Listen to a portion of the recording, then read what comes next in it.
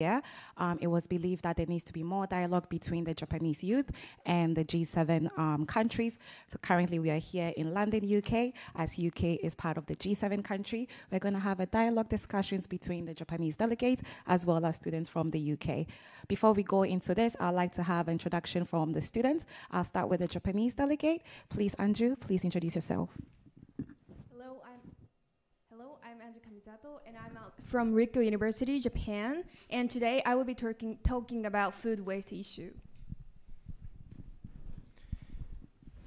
Hello, my name is Ayumu Ochi, and I'm from Doshisha University, Kyoto, Japan.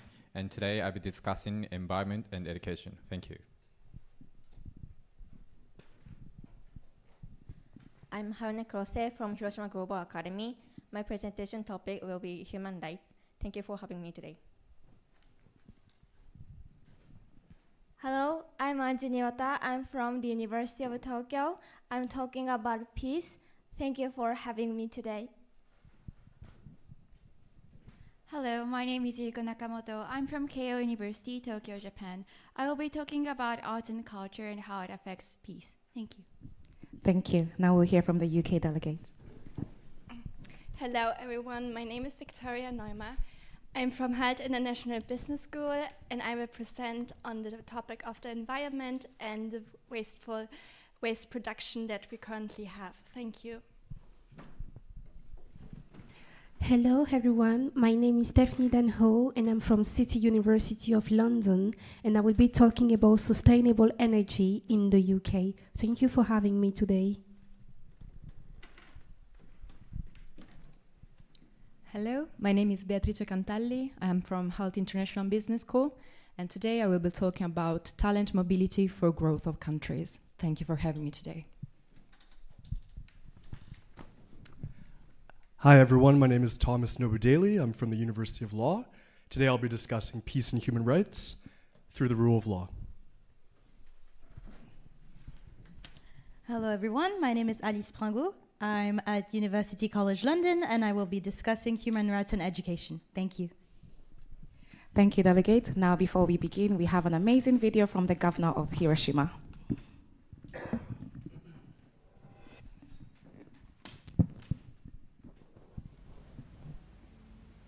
Hello, everyone.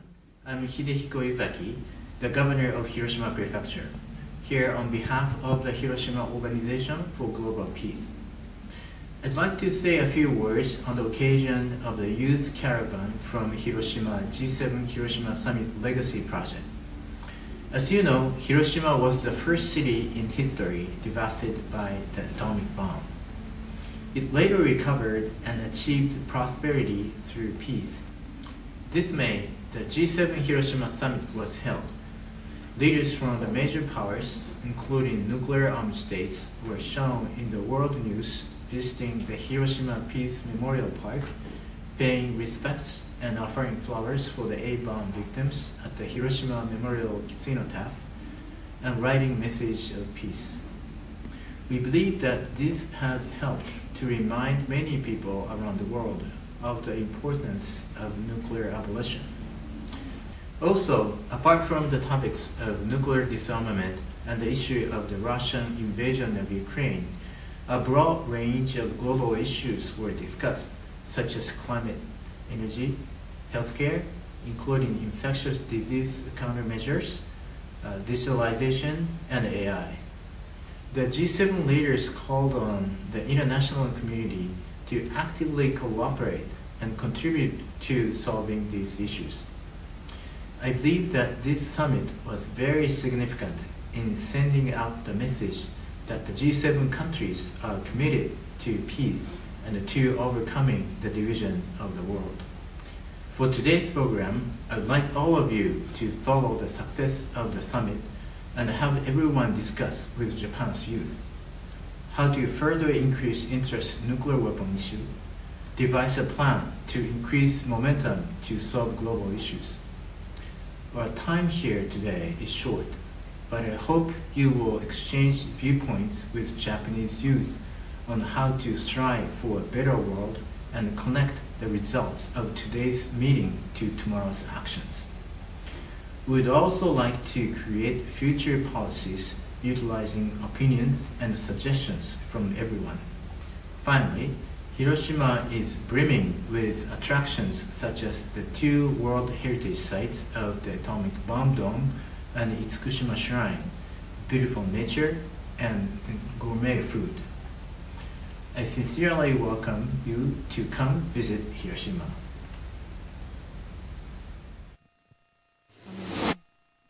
Now we have. It was amazing to hear from the governor. Now, moving on to the delegation um, and to start the discussion, we will start now. We have from Rikkyo University, Anju Kamizato. The theme is food problem.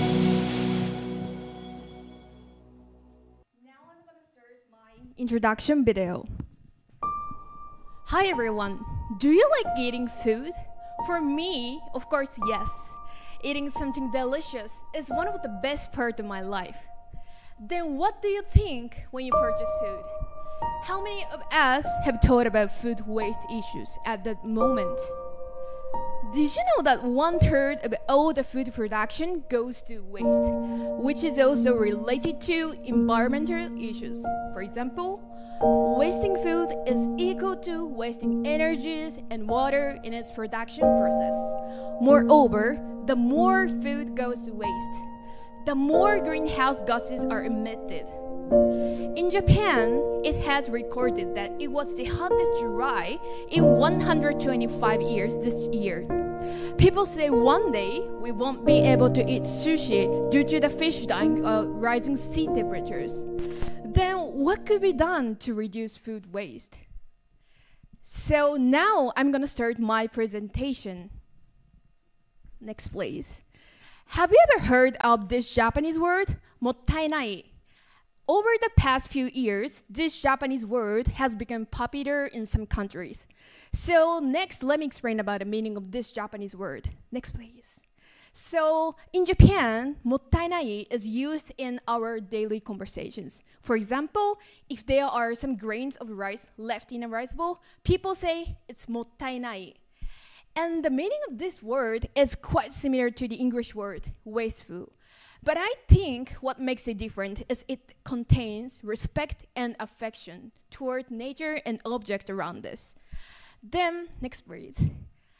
International interest in this word was sparked by this woman, who is Wangari Maathai, who is well known for getting Nobel Peace Prize in 2004. And it is said that she was deeply impressed by this Japanese word because this single word expresses the three, you know, spirit of reduce, reuse, recycle. So today, I want you to remember the meaning of this word and itself. Next phrase. By the way, as I said in the introduction video, one third of all the food production goes to waste. Then how about the current situation in Japan? In 2021, 5.23 million of ton of food went to waste in Japan, which is more than food assistance amount by World Food Program, and this amount is the same as that all the Japanese citizens throw away one bowl of rice every single day. Next, please. Then how about in the current situation in G7 countries? We, including the UK, occupies 10% of all the amount of food waste. Next, please. By the way, now all the G7 countries are united to tackle on this global challenge. So, as you know, the G7 summit was held in this year in Hiroshima, Japan, and during the summit, Hiroshima Action Statement for Resilient Global Food Security has been declared. And during the statement, the word reducing food and waste were described more than three times. And now it is obvious, like all the countries are trying to reduce the amount of food waste. But I think it depends on every single us whether this situation will be better or not. Next, please. For me, I've realized how serious is it a couple years ago, and I've been working on some project. And the first one is participate in business contest, and I've tried to start my new business, which is generic restaurant, which provide food cooked by like non-standard size of fruits or vegetables. But this project has ended up being failure because of lack of money and the motivation of our members. And first one is working for environmental start company in Singapore, and I've tried to promote uh, composing at home. But every single time that I ask people, why don't you start composing? They told me they don't have enough time. And third one is being a student reporter. I've wrote and published a couple of uh, articles about the you know companies or people doing eco-friendly business or like project. But through these experiences, I realized one important thing. Which is, we cannot make sustainable societies without sustainable behaviors. This is because no matter how much the governments or companies are united and work on to reduce the amount of food waste, nothing will be changed unless consumers change. Next, please. So lastly, let me share with you a couple of ideas that I have to change this society better. So first one is uh, having, having a mottainai spirit. I think we have already started from today. So next one is doing eco-friendly decision making. For example, when we are going into going to supermarkets, there are non-standard sizes of vegetables. Comparing them with normal ones, which one will you pick up? I think the answer is already in your mind. So what I want to tell you today is we all have a right to change this society better. Why don't we make a society full of mottainai spirit and eco-friendly decision making? Thank you.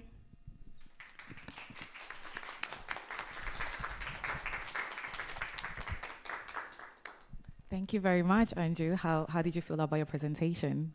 Um, I'm so glad to have this opportunity to tell you ab about the mottainai spirit in Japan. Thank you. Amazing. Thank you for teaching us about that. You may have a seat.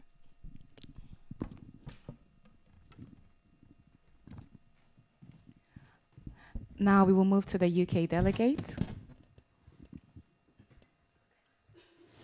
We have from Hult International Business School, Victoria Neumer. Her theme is Environment and Circular Economy. I would like to start my presentation.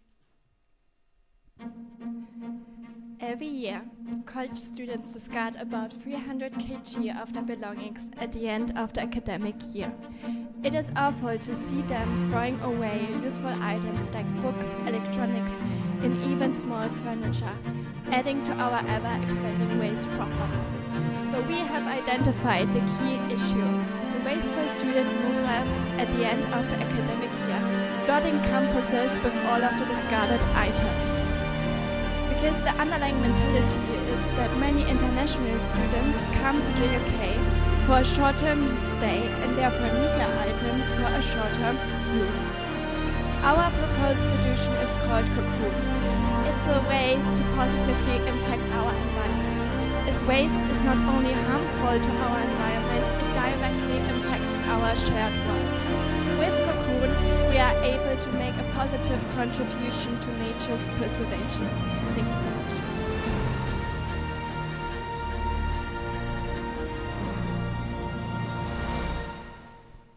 So, but let me start off with my presentation. I would like to tell you guys a story. In 2019, I graduated from high school, and ever since I was a little girl, I had a dream. I always wanted to study abroad. And finally, my dream became a reality as I was accepted at my dream university in the center of London. And next slide, please. It was such a monumental change, moving from a very small town in Germany to the very big city of London. It was like stepping into a new world, filled with excitement, but also a lot of anxiety. So I remember my first day when I went to London. I, I came from like a very long flight, and I remember I was so tired, and everything I wanted to do was just to sleep. So after I made it to my college dorm, next slide please, I had a really big issue. And my issue was that my college dorm was empty. Not even a bed cover. So what did I do? I went to the next Primark to buy some student essentials, knowing that I would have to get rid of them eventually after I graduated high school. And having in mind that I didn't have a lot of money at the time and my student budget was quite limited. Next slide, please. Um, so, moving forward to my graduation, and I find myself having to get rid of, of all of the items that I have previously bought. Next slide. So, doesn't the cycle sound familiar? That you buy something new, use it temporarily, and then you have to throw them away? Doesn't the cycle sound sad, but also quite true? Here comes our solution into play. It's called Cocoon. It's a solution from students for students. It's an online platform where students can sell, rent, and buy student essentials, such as books, electronics, and even small furniture. And with that, we create a really big benefit. For the senior students, they can earn money by selling the items, and junior students can save money by buying the items from our platform. So, because one of the big issues that we really, really cannot discard is the environmental issue that is caused by the harmful practices. Um, the Ellen MacArthur Foundation actually estimated that there will be more fish than plastic. No, sorry. There will be more plastic than fish in the ocean. Next slide, please. Which is just really harmful, in my opinion. So,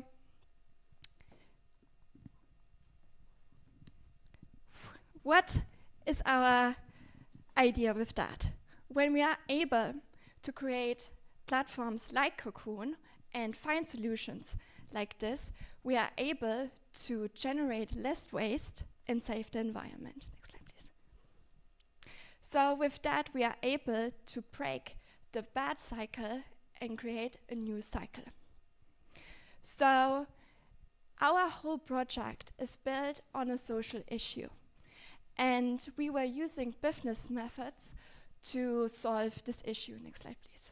Because this will create a win win win situation for the society, the economy, and the environment. So, with Cocoon, we are actually able to save money, save the environment, and also be able to create a future that is bright and not dark. Next slide, please. So, we all should focus on finding our own cocoon and have a, a, a new and a bright future ahead. Thank you so much.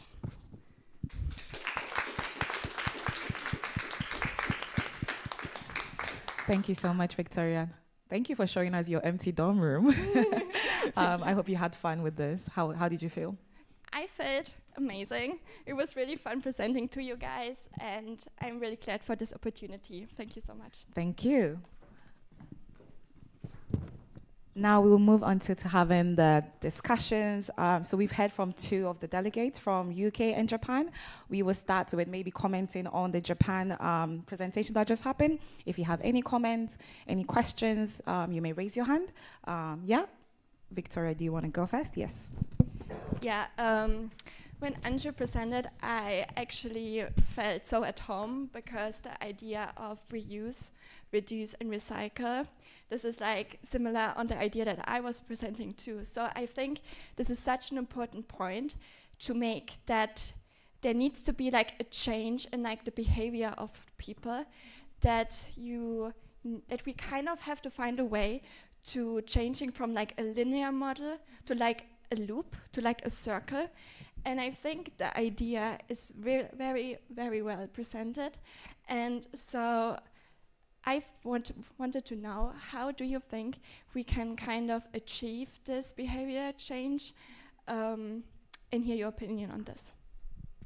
For me, actually, it is quite you know hard to change you know consumers you know mindset or behaviors because that you know for example this kind of opportunity you know there are some you know young generation who are listening to our like presentation.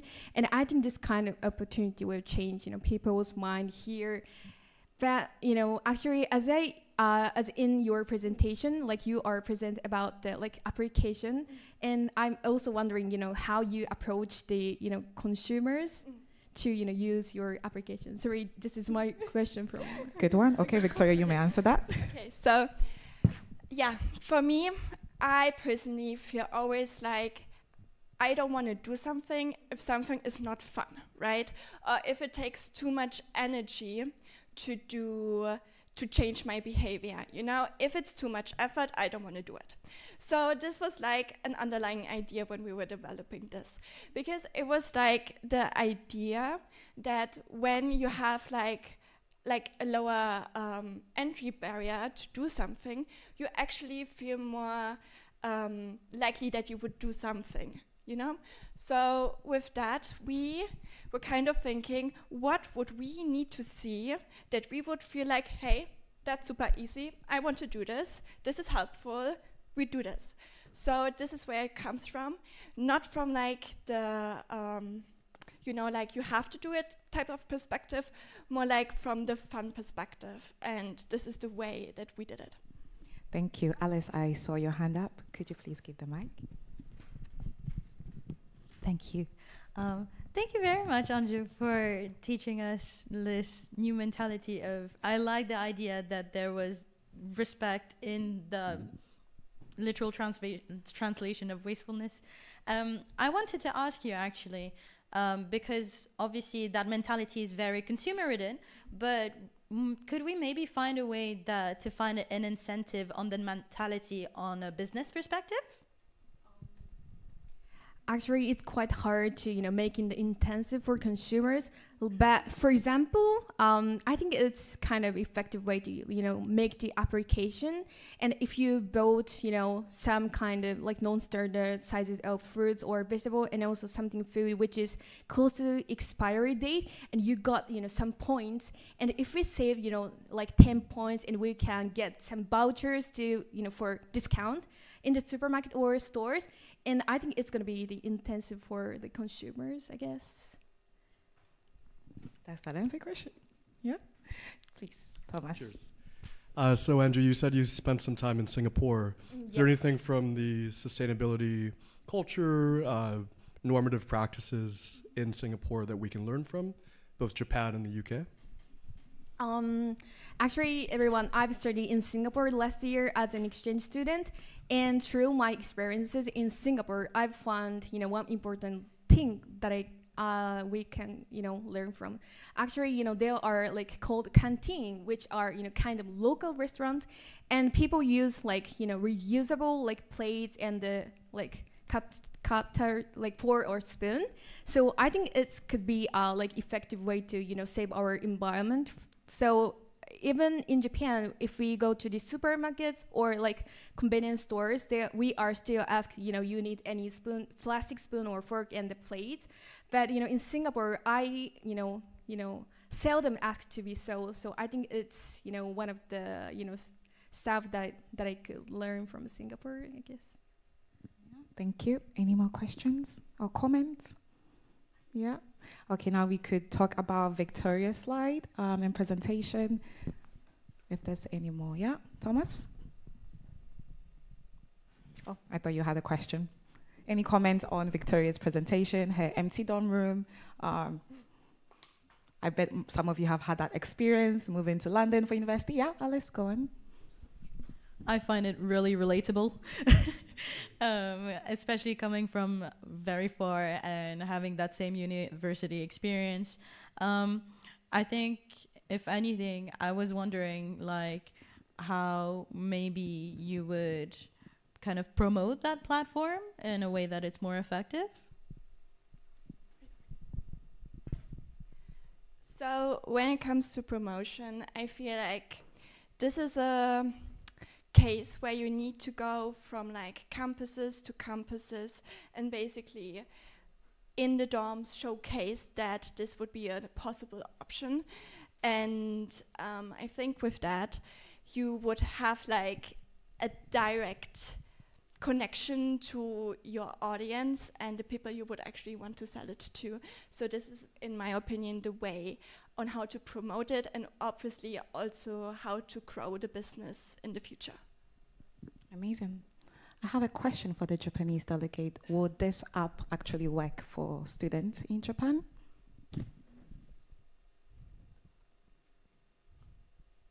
For example, you moved from Okinawa to Tokyo.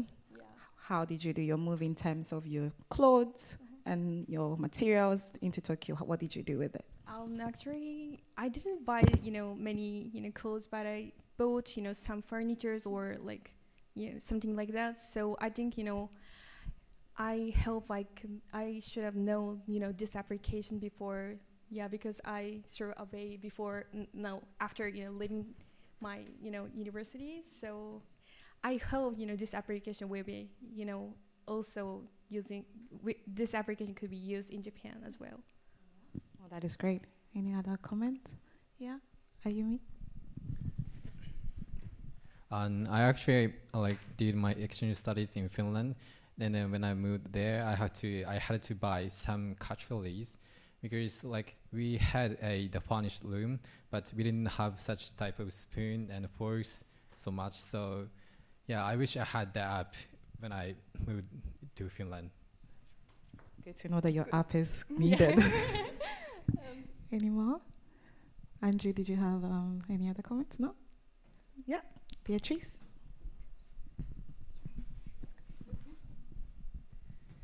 Thank you, Victoria, for your presentation. And I really think uh, everyone that has moved to London, such as me, has experienced the need of many stuff that were reused and thrown away many and multiple times. And I wanted to ask you if you have thought of this business staying just online, as in a way of selling it through e-commerce, or have you ever thought even of finding a place right in London when there are huge cities that every year gets a big amount of students and like moving in a physical place where people can actually leave their stuff for free and try to sell them if they prefer so that like a physical business as well just remaining an e-commerce platform So we were thinking, so me and my co-founder were thinking that it would be interesting to have like a based store somewhere in like bigger cities and that people could actually bring their items to this shop and um, sell basically get the money when it's sold on the day. This would mean there would be kind of a delay between like um, you are um, getting your money and your um, items are sold, right? But this has the advantage that you would be definitely be able to get rid of the items in like a sustainable way. Oh, thank you. Thank you, everyone, for this discussion. This was very fruitful. Now, I'm going to try and summarize all the things that we kind of have a conversation here. And I feel like the common theme for this would be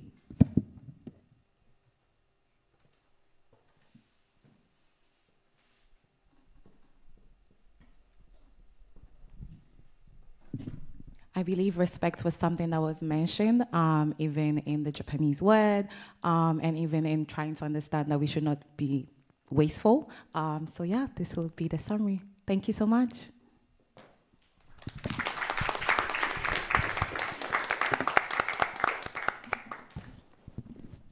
Now we will move on to the next step. Um, we will have the next Japanese delegate.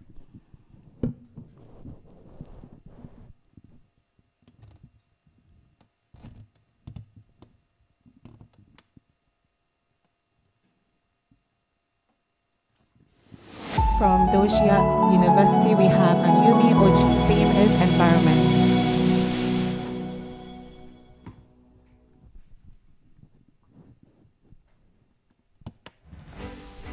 Environmental problems are the problems all of us are working on. In SDGs, the goal 13 urges us to take con- con- urgent action to combat climate change and its impacts. And the, for the year 2030 and beyond, we have to make concrete progress on this goal, on these issues. So I'd like to propose education as a way to achieve this goal. At the seminar course I'm joining in at my university, we work at the Garden of Hope.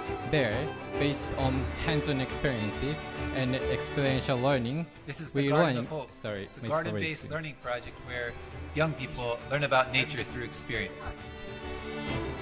We are exploring the philosophy and then not only receiving the education, we are also imp- implementing education at the child daycare center. and then the children, based on the experiential learning, they learn about SDG issues. Thank you. And uh, as you've seen in the video, today I'll be discussing about environment and education. and then a bit nervous to, to be honest. And then let me begin with our simple yet profound question. How do you define nature? You may answer, nature is not man-made, or nature is the things to control, or nature is the beauty, you may say. Let's go back to the main storyline. As, you, as, I've, as I've said in the video, the goal 13 of the SDGs is urging us to take urgent actions to combat climate change and its impacts. And for this goal, we have a target that needs us to take, needs us build knowledge and the capacity to meet climate change. Build knowledge, yes. Education is regarded as a potent tool to achieve the environmental sustainability. Let's move on to the data.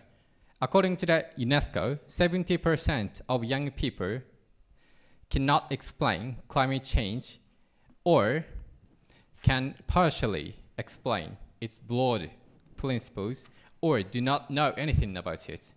And the research conducted in Japan to Japanese the teachers or educators revealed that one of the biggest problems on environment education programs is the lack of quality programs and educational materials. So we understand that there is a huge lack of quality environmental ed education programs all around the world, even in Japan or even in the UK. So my goal is to build and enforce quality environmental education programs that can be used in your local neighbors. And then, but wait, what should be the core and what should be the philosophy for my programs? I'd like to say emotions and experiential learning should be the core and the philosophy for my programs. And it is because that according to the previous studies, that emotions can drive our behaviors toward sustainability. And such emotions, such as a connectedness, connectedness to nature, can be developed through experiential learning. So we have to seek for experiential learning that can enforce emotional em emotions, and then that leads to the achievement of environmental sustainability. So in this context, what am I doing? What am I doing at the seminar course at my university? As I said before, we work in, in the Garden of Hope. There, 10 to 15 students are working at the garden. We grow vegetables, and uh, we growing up some plants like grapes, and then we are also having discussions on environment educations. So not only we are learning about the information or the sad that the context of environmental issues, we also the developing our emotions and attitude and behaviors towards sustainability. So, in conclusion, we are witnessing a paradigm shift of environmental educations. In the history, we, are, we have been the packing young minds with glim description of the earth. But we are turning to the environmental educations based on emotions, and experiential learning. So the, for the question, what is nature, how do you define nature, I'd like to say, nature is us. We have to seek for emotional link to nature. So for 2030 and beyond, the brilliant young students from the UK and Japan, we had to start turning to the environmental educations based on emotion. We have to start with their, their wandering in your garden or walking around your garden or picking up flowers or watching out that beautiful butterfly, that little excitement and joy and the little wonder can lead to the sustainability. Thank you for your attention.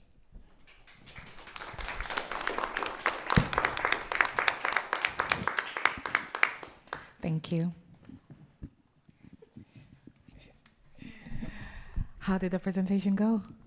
Um, I was I was a bit nervous, and then uh, but like it was like it was the great opportunity to have this kind of opportunity to talk about what I uh, what I have been doing, and then yeah, it was great. Thank you. Great to hear. Thank you so much.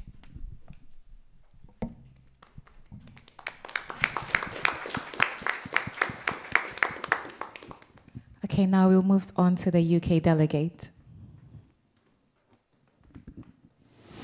From City University of London, Stephanie Danho, Environment and Renewable Energy. Thank you for having me. I'm going to start with my introduction video. We can see nowadays how climate change and carbon emission is getting felt all around the world as a common challenge that all nations are trying to to solve by having a lot of meeting, a lot of reunion in order to talk about that. So what are you can see that 5.2 carbon emissions have been released and the decision of the UK to move toward the net zero by 2050 have been taken by during the COP26. So how is the UK intends to move toward the net zero by 2050? This is a huge decision and this is something that includes a lot of decision, attitude, behavior, new strategies to be put forward. So how will the transition to green energy sources occur? So this can occur via several methods and strategies. So this is what I'm going to cover into my next presentation. So now I'm going to talk to you about sustainable energy in the UK. Next, please. So first and foremost, I'm going to introduce you briefly in the round of the topic for you to understand how this decision to move toward a green use of energy has come. So during the COP26 that has taken place in Glasgow, all nations have come around the table to discuss all the climate changes and environmental issues that was affecting the world. And the decision at that time with the ex-prime minister Boris Johnson have took the bold decision on the behalf of the UK to move toward the use of sustainable energy to move to the net zero. So as a global leader in the renewable energy, the UK has saw this as an opportunity to leverage its expertise in green technology and contribute significantly to international climate effort throughout the transition to renewable energy. Next, please. So this happened with different types of energy, respectively. We have the solar one, the hydropower, the geothermal, the wind energy, and the ocean energy, also called the tidal one. Next, please.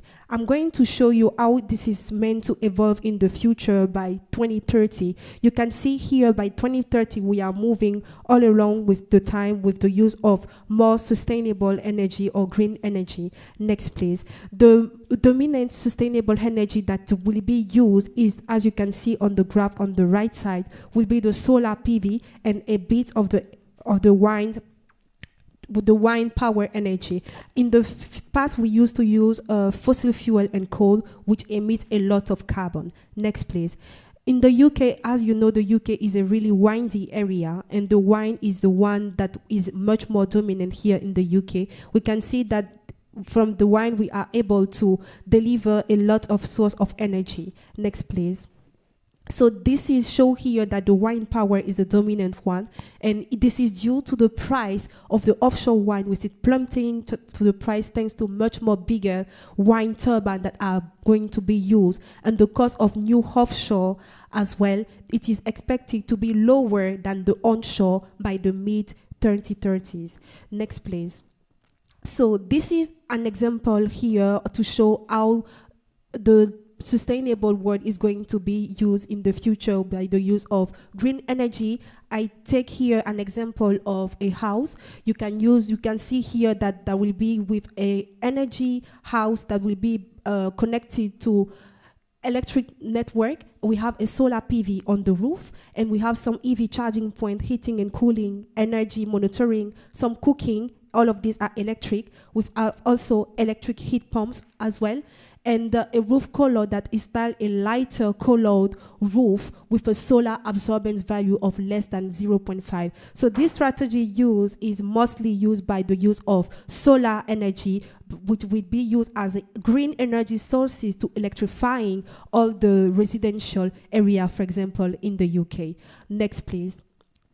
So coming to this, for this to occur, it is obviously like evident that we will have like a lot of increase of investment in the renewable energy infrastructure. Of course, in the UK, the offshore wind support is immersed because the UK is a really windy area and we can take a lot of energy from the wind. And next to it, the solar power expansion will be another good thing as well. And lastly, as the wind and the solar are not really I mean, consistently in the UK, the use of energy storage system solution will be good as it will be used to store the energy that we will have already in case we don't have all of these sources, respectively, the solar power and the offshore wind support that will be used as a backup.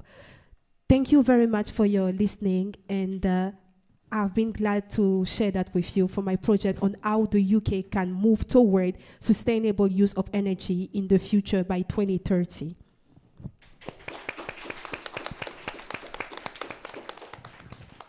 Amazing. Thank you, Stephanie. How did you feel about your presentation? Thank you. Amazing. Actually, that's a really a great opportunity for me to share my knowledge because in the future, that's my plan to to into emerge in this uh, domain, and I seen this as like my dream coming true already, and trying to manifest myself in my area of passion. That is great. Thank you for the motivation. Thank you. Now we will start the second discussion um, after we've heard from both delegates. Uh, we may start with Stephanie's. No, that's fine. So if you have any comments, questions that you have um, regarding Stephanie's, yeah, Thomas? Uh, thank you so much, Stephanie. I, I guess it's it's a question really to both of the delegates. Uh, Ayumu, yours your your presentation was more about um, some emotional connection to nature, and Stephanie, yours is is very practical and substantive. How do we marry the two approaches? How do we actually provide for a sustainable future as per the SDG? Very good question. Yes. Thank you. And then uh, I think, like the Stephanie said, the first first step for the the behavior change or like stru- the policy change. Then and uh, she said the first step is the increased investment, and the in the renewable energy and the infrastructure is light.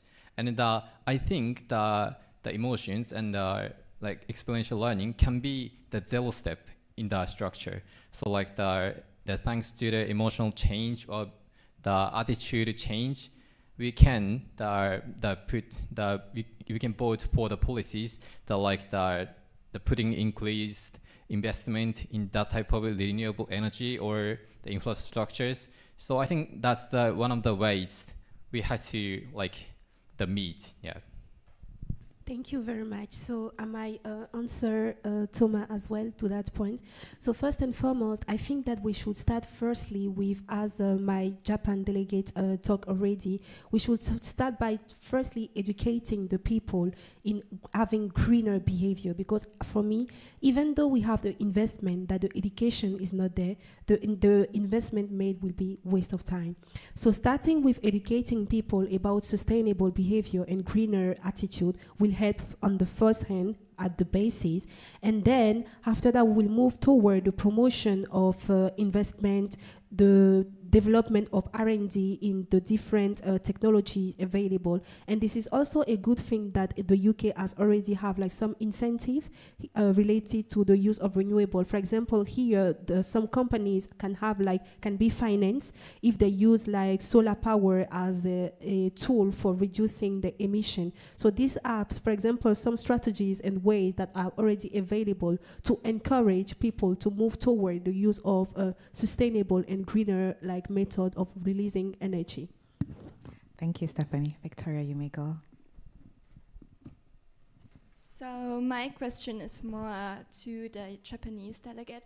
And I was wondering, um, when you were talking about like the emotional education level, would you say where would you start with like educating people? Do you think this would be very useful to have this in schools, or how do you think where the um, starting point of the whole education program should begin? Thank you for asking about that. And then the, my name is Ayumu, just letting you know.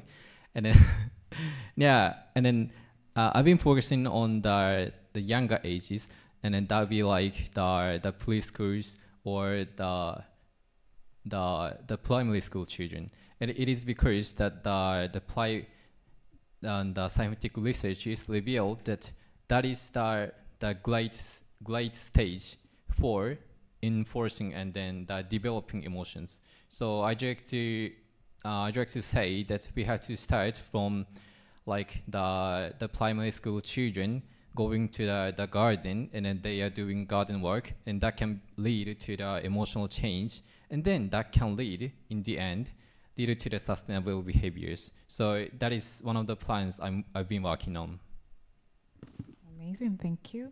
Any more questions or comments? Yes, Andrew. I have a question for Ayumu. And as you said in the like presentation, you conducted the like motion education through like conducting farming. So I just wanted to know how you tell you know students for you know doing far- farming. I mean, I think the students are you know doing farming just for fun or some you know interesting experiences for them. So I'm won- I'm wondering you know how you tell gather students to your farm. So, yeah, just checking the like the are you asking about some the how can we like the make the emotional change based on yeah got it, and then I think the like the and the Rachel Carson says that we have to seek for the sense of wonder, and then in experiential learning or the walking in the woods, we have to make the the wonder the sense of wonder, and that is just that is like a the little um little being confused or little excitement. And then so in that context the wonder can be developed in the that type of farming activities i think in so like the the shoe the walking at the garden they had they got to have some excitement or little bit confusion and then that can be that can lead to the um, the sense of wonder and then that means we're having a the emotional change Thank you, Ayumu. We could give to you, Yuiko. Um, it's kind of for both of you. It connects to the Thomas first question. I agree with that. Like, uh, like emotional approach is like step zero for the um, practical change on Stephanie's presentation. But I kind of see the gap between like emotional change into actually taking the action. So uh, it can be any of you two, But like, how will you? Um, how will you fit fill in the gap between them? Um, just to make sure that I understood your question, you mean uh, how we fill the gap between the education and the practice of. Uh, Um, it can be the way of education. I thought like Ayumu's approach is for a young, very young generation. Maybe like for example, maybe they can teach in detail about like re- reusable or renewable energies in like middle school or high school or something like that. You understand the question? Um, this is our some environmental education studies, and then the the historically environmental education studies have been saying that that we had to seek for the emotional development at the first at the first step, and then we are moving to the more knowledge education. So based on the emotional change, emotional um, the basis, we can absorb the information based on that kind of em- em- emotions, and then in the end, when they become adults, they can take sustainable behaviors.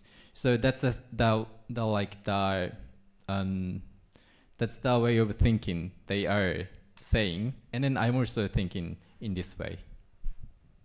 Uh, Thank you, uh, Ayumu. So then to answer your question, after that the people will be well educated in terms of sustainability. I mean, if, we take them from the education, from the high school, then at university, for example, we are going to teach those people now what are the available technology, like the practical case of use of sustainability for moving nations, countries to the use of those uh, technologies for having sustainable behavior and sustainable practices. Amazing. Did you have a comment on that? No? Any questions or comments from any of you? No? Okay, I think I have a question for you.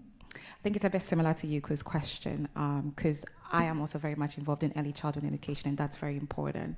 But how do we now do what is happening now? How do we kind of make the change now for those that are already adults and they already have their own emotions? How do we now let them kind of go through that relearning of the emotional factor that you just mentioned? Yeah, it's kind of like tricky question, tricky comment. So can you rephrase that just a bit? So it's more of now, if we help the younger people, how about the older generation? How are we actually making them also move into taking more sustainable approach to nature? Can I, can I answer You the question? Amazing, yes, Stephanie. So, from my perspective, for people who are already adult and for making aware of getting sustainable behavior, I think this comes like the for the taking of policies like that will be like some policies that will be taken by government in order to encourage because most of the time law policy will allow people to be like much more like in regard with those new roles. So for people who are already adult, that will be a bit difficult, I would say, not easy to educate. Policy will come forward for reminding her that now is true, the planet is in danger. We need to adopt some sustainable methods, sustainable be- behavior, and greener attitude for saving the planet. Well, thank you. Thank you both. Thank you so much.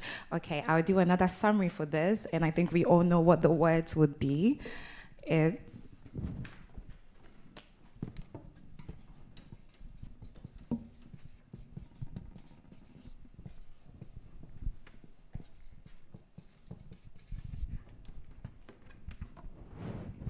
So the key word was definitely emotion and practical. So thank you very much.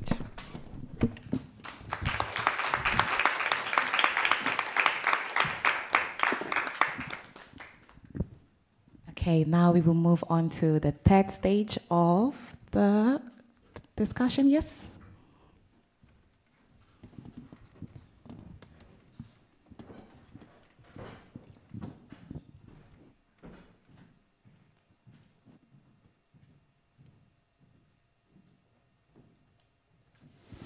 Next, we have from Hiroshima Global Academy, Harune Kurose, theme human rights.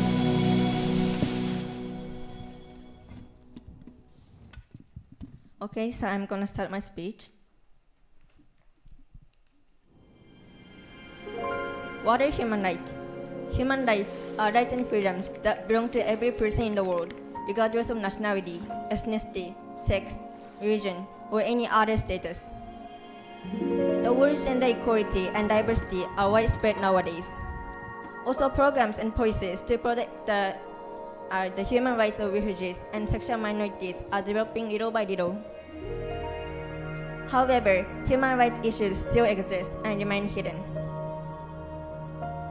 Human rights programs um, certainly include prejudice against groups of minorities, but your individual human rights also matter.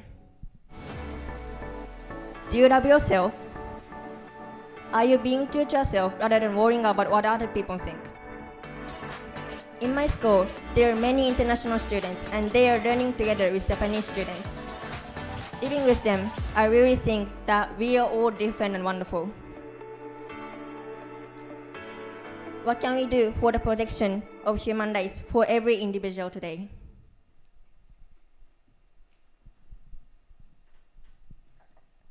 First of all, let me tell you a story.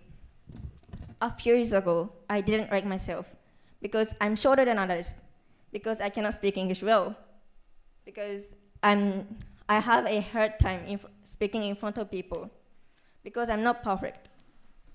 I've never said I'm ugly, but I've also never said I'm beautiful. When I felt self loathing, I became more and more negative, and I felt like I'm losing myself. To get rid of such a self, I searched to see if there was others who didn't like themselves or could not be themselves because of their surroundings. And I found that there is ongoing discrimination against women, migrants, or LGBT people in Japan. Then I started thinking that I want to decrease the number of people who cannot do what they want to do or who cannot live as they want to because of their surrounding environment.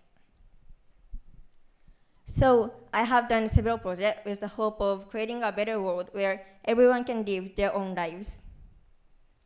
For example, I've launched an, a student organization with, students who live in Japan. As part of the organization's activities, we had a discussion, we had a discussion session and invited an expert who are studying, who are studying gender equality and inclusion.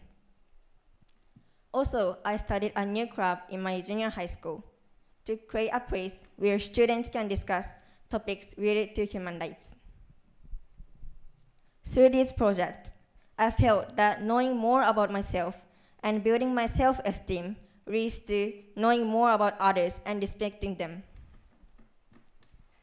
Let's broaden the topic and turn our attention now to how human rights relate to peace.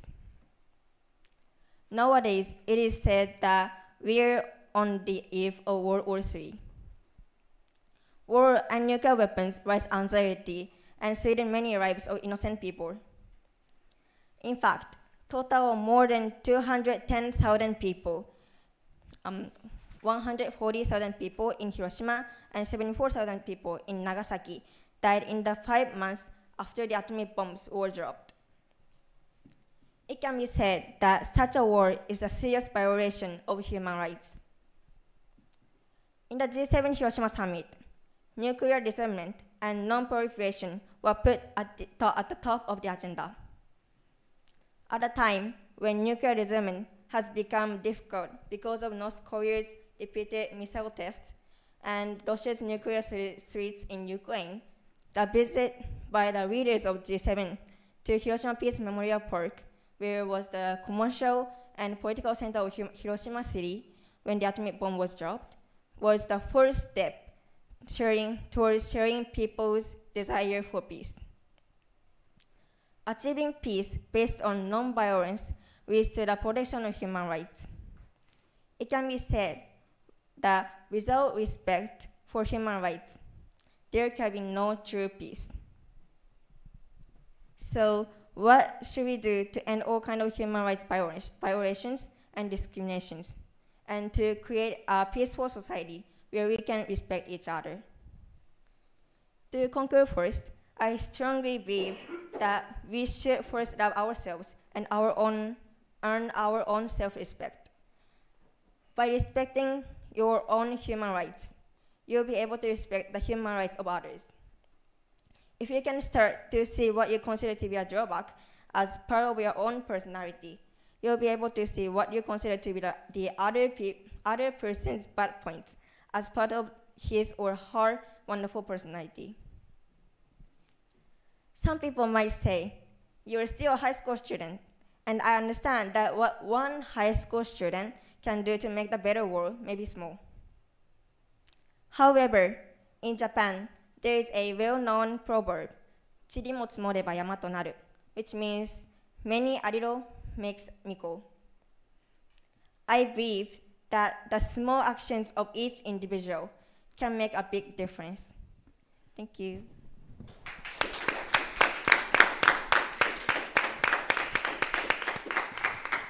Thank you so much, Harune. Um, Thank you for teaching us about self-respect. That was really beautiful. Um, how did you feel about your presentation? Um, I was very nervous, but it was it was an amazing opportunity. Thank you so much. You did great. Thank you.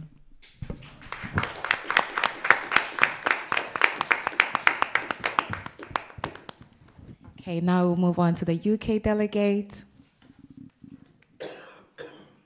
We have from Hult International Business School, Beatrice Cantelli, theme Human Rights and Immigration Issues. Thank you very much. I'm gonna now start with my introduction video, please.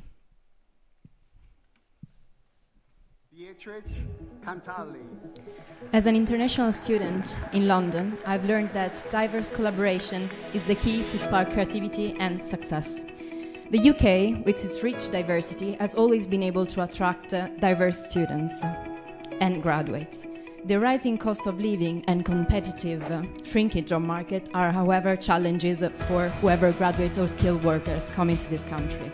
Furthermore, other countries with great opportunities are experiencing issues with the work-life balance and lack of opportunities. So, how can we redistribute talents while helping them access their best career opportunities? Statistics tell us that younger individuals are more willing to relocate for work and studies. Now, picture this engineers from Silicon Valley partnering with designers from Tokyo, experts from Sao Paulo, and sustainability championship from Nairobi. The question is their power is willed when they are united. So we will now explore how this diverse collaboration is not just a necessity, but it's a revolution. So thank you for, for your time. I'm just now going to start with my presentation and go inside the topic of talent mobility for growth. What does this mean? So inside my introductory video, you were able to see in the next slides, please, that UK is actually dealing with two different problems. First of all, um, the UK is a, puzzle with two faces. Next slides, please. There are a few big cities that are benefiting from huge talent inflow, while students and skilled workers um, finding themselves forced to relocate, uh, facing high living costs and expenses. However, for this, there is a common solution, as it's called uh, globally mobile talents. Next slide, please. So we should shift our focus to the European Union now for a second. They do recognize the importance of talent mobility. In this slide, you can see an international career path that's called GLOMO. GLOMO is about globally mobile talents and it offers valuable lessons for addressing the mo mobility challenges that students, just as us, but also graduates and skilled workers face whenever they relocate to another country. So, for instance, uh, here they divided the process uh, into four big stages and pillars. So, before migration until the sense making in the end of the end of the relocation to another countries. So, considering sensible factors such as national hostility or political systems uh, and the creation of uh, an identity for the incomers. Next slide, please. So that was about the EU, but our solution needs to be more global. So expanding it to the global stage, a common solution is vital to harness the potential of talented individuals, both graduates but also skilled workers. Studies reports uh, that the advantages uh, of fostering nations' growth through international labor mobility are huge. However, to reach this success, uh, it is essential to support the talent relocation and also ensuring a balanced redistribution of the skilled worldwide. Next slide, please. So, which are the future goals? How can we actually achieve a more global and mobile world for talents? Our future goals are ambitious but yet achievable. We aim to spread knowledge about mobility and its implications, shed light on factors impacting the success, provide training for researchers to understand how the global mobility happen and how to make it better. We seek to raise awareness of the relevant implications for individuals and organizations, countries, and offering some practical solutions. These collective efforts equip us to address the challenges of talent mobility, as reported from the project of GLOMO by the EU. Next slide, please.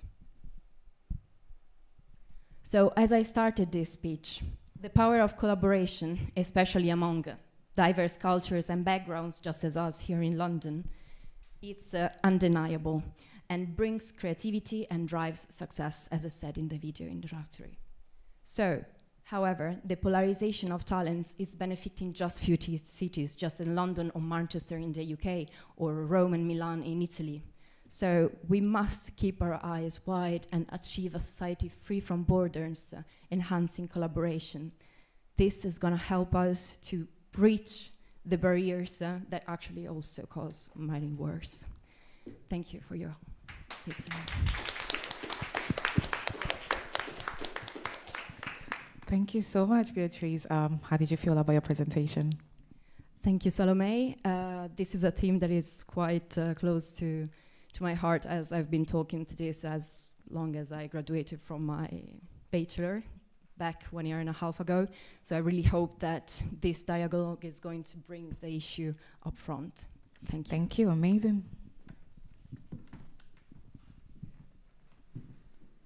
Well, again, we will move to the third discussion of both of your presentation. Um, Harune, we may start with your presentation. Any comments um, or questions that anyone may have? Yes, Alice. First and foremost, thank you for your presentation, Harune. I thought that it was very brave of you to share your experience. I was wanting to ask about the organization that you've been very much a part of. How do you think that maybe that level of project can be used on a bigger national scale to cause more interesting and long-lasting change? Thank you for your question. Like the organization I launched was like for small communities, but um, it it became a big scale. Then um, well, people can know about like minority, like the group of minorities, so then they can mm, how can I say they can deep um, stay true themselves, and like they will they they can they will be able to like live um, without any discrimination, and yeah, that is one of the effect I think. Yeah, thank you. Yes, Beatrice. I just wanted to thank you, uh, Ayune. I think that your presentation was enlightening and it's very connected to, to my topic as well. Because as you were talking about self esteem and self knowledge, uh, just when you, when you grow up a little bit and you are forced to move out from your country and actually face all the difficulties of knowing a new culture, finding a job to actually survive in a new city that might be very expensive, knowing yourself first and also be respecting others and be respected by others that comes from a totally different backgrounds and speak different from you it's the the further stage of everything i talk about that is a further very, very important very important base to start from. So i wanted to ask you how you realized this like uh, how you actually came into this topic. Well, like in Japan, like even in Japan, I'm very shorter than others because I have I'm my height is only 142, and that and I feel like even in the school community, I'm one of a minority, and so like I feel, and of course some people, some students say, "Hey, you're shorter," and so and like I really um, I don't. wa- of course, I don't want them to say I'm shorter because I'm, I'm the same person as they are. So, yeah, that was my first thought. thank you so much Amazing. Thank you. Any more questions? Yes. Um, this is just a comment for Beatrice. So uh, I was so glad to hear about the talent mobility today. Um, it is because like the Japanese also dealing with that problem, and then the, as you said, as you described, the this kind of like solutions for talent mobility can be a revolution for the society. So I just thank you for your presentation today. Thank you. Uh, actually, if I can reply to you, uh, how it is in Japan at the moment? Is there any anything that they are actually trying to be doing? Because I know it's a it's an active problem about actually attracting talents that are not just from Japan, but actually make it a global issue and a global attraction. How is that in your country? Yeah, actually, like the I think Japanese government is just taking steps to treat with the the global and talent mobility. Like the the Japanese government that is the putting the focus on the like the PhDs from overseas countries or like the, the kind of like the, the workers with highly high skills. So we are the starting to take steps. I think that's the the current situation. Thank you, Ayumu. Thank you. Victoria. Um, my question is for Beatrice, and I was wondering, what do you think are the current like barriers for like the talent mobility? Thank you for your question, Victoria. So there are many, there are many actually barriers that EU in particular is already trying to develop. Uh, so for instance, uh, it comes, so there were three main pillars that you might have seen on the, on the picture. The first is at a micro level, so it comes from, from the person that actually is forced to relocate because of need on another work or wants as well to expatriate in order to pursue further opportunities. So the first one is the commitment, the commitment of the person. The second one it comes from policies. So there are many countries that cannot even um, recognize a, gradu a graduate scheme or do not even know how to put on a scale a precise type of experience, working experience. So in that sense, that's a huge barrier because what you have worked on for many years cannot be recognized in another country where you actually are willing to relocate or are forced to because you want better opportunity for your children, for your children or kids as well. So these are two of the main barriers I would say that's a student or a skilled workers might, might face. Thank you for your question. Yes, Andrew. I just want to add my comment to your question to Ayumu. So in Japan, actually, you know, the government, from my understanding, the government is not accept so much number of immigrants right now, and but the number of you know foreign workers from other countries has been like increasing but at the same time the number of japanese people who are you know studying in the university uh, in other countries but that kind of people work in other country and they won't come back to Japan. And I think that's the you know kind of one challenge you know the Jap Japanese you know country is having right now because you know they can get you know higher salary in in Japan. So yeah, that's all. Thank you.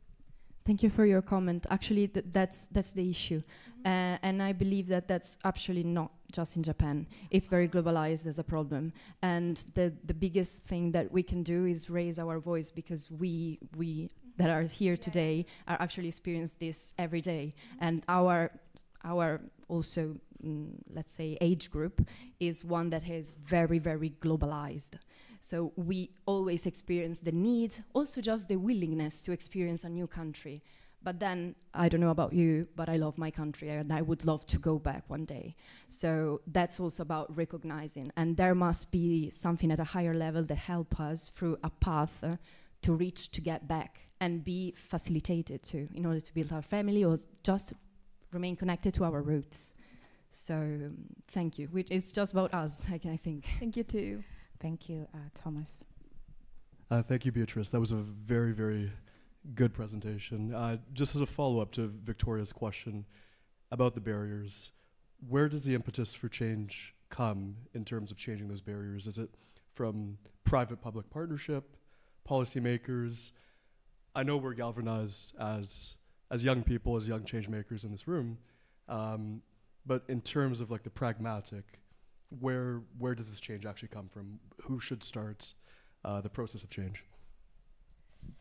So um, I would say that we should look at already present initiatives. So what has already been done, uh, I can speak about the EU because I come from there. Um, it's trying to use and connect to policymakers uh, to reduce taxes. Unfortunately, this is not enough, uh, and this has been seen in multiple, multiple countries. So um, I think that um, there must be an ad hoc path that should be created for every student uh, and every skilled worker. So trying to mm, creating specific ways to support them because there are, um, in particular, there are some phases of the relocation that are totally not addressed. For instance, finding a, a new house, wh where to actually relocate, where am I going to live, where is going to be my work? How far should I travel to go there? So I do believe that that comes not from highest organization that actually reduce taxes, which is helpful, but is not enough. Should come from exactly the city where you are actually going, the borough where you are going to live. They should actually reach to you out. You should have um, someone to speak with uh, precisely, like a one-on-one yeah. conversation. I mean, as a follow-up, uh, you mentioned London, you mentioned Rome. Arguably, the reason why those cities attract and retain talent is because those initiatives exist in those places already. So, how would you incentivize smaller communities who probably need the talents more um, to go there in the first? So that's that's a great question. Um, I thought about companies. Companies are the the biggest uh, mm, movement uh, for skilled workers and university are the biggest movement for students. So if in smaller cities that now are experiencing a huge loss of talents, there might be incentives for big companies or for big universities who actually have an headquarter there, that could be even less cheaper for students to actually relocate there because it's not a huge city because it's more affordable but also it could be better for the city itself because it's going to grow. It's going to have talents in it. It's going to have power sorry to stop you there but sure. thank you so much. I know this conversation is amazing. Uh, it'll be great to hear more. Um, but i will make a quick summary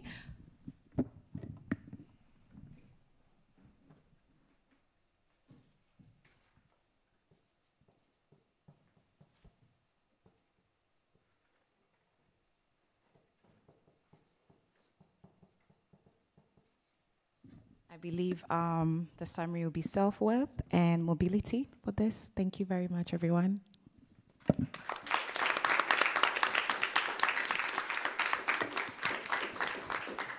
we will not have a break, so we'll just move on to the next phase. Um, so I will start with the Japanese delegates coming up next.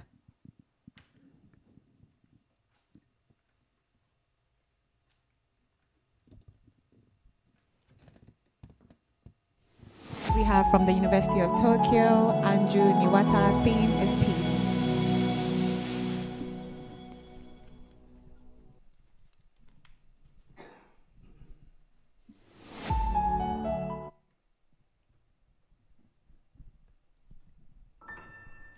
Rebooting memories. I was born and raised in Hiroshima. Have you ever been to the Hiroshima Peace Memorial Park? This was a downtown, the Nakajima district. More than 4,400 people lived normal everyday lives just like us. Since I was a high school student, I've been working on rebooting memories. That is to colorize the black and white photos of pre-war everyday lives. Using AI technology, the color of memory which was revived through dialogues with war survivors.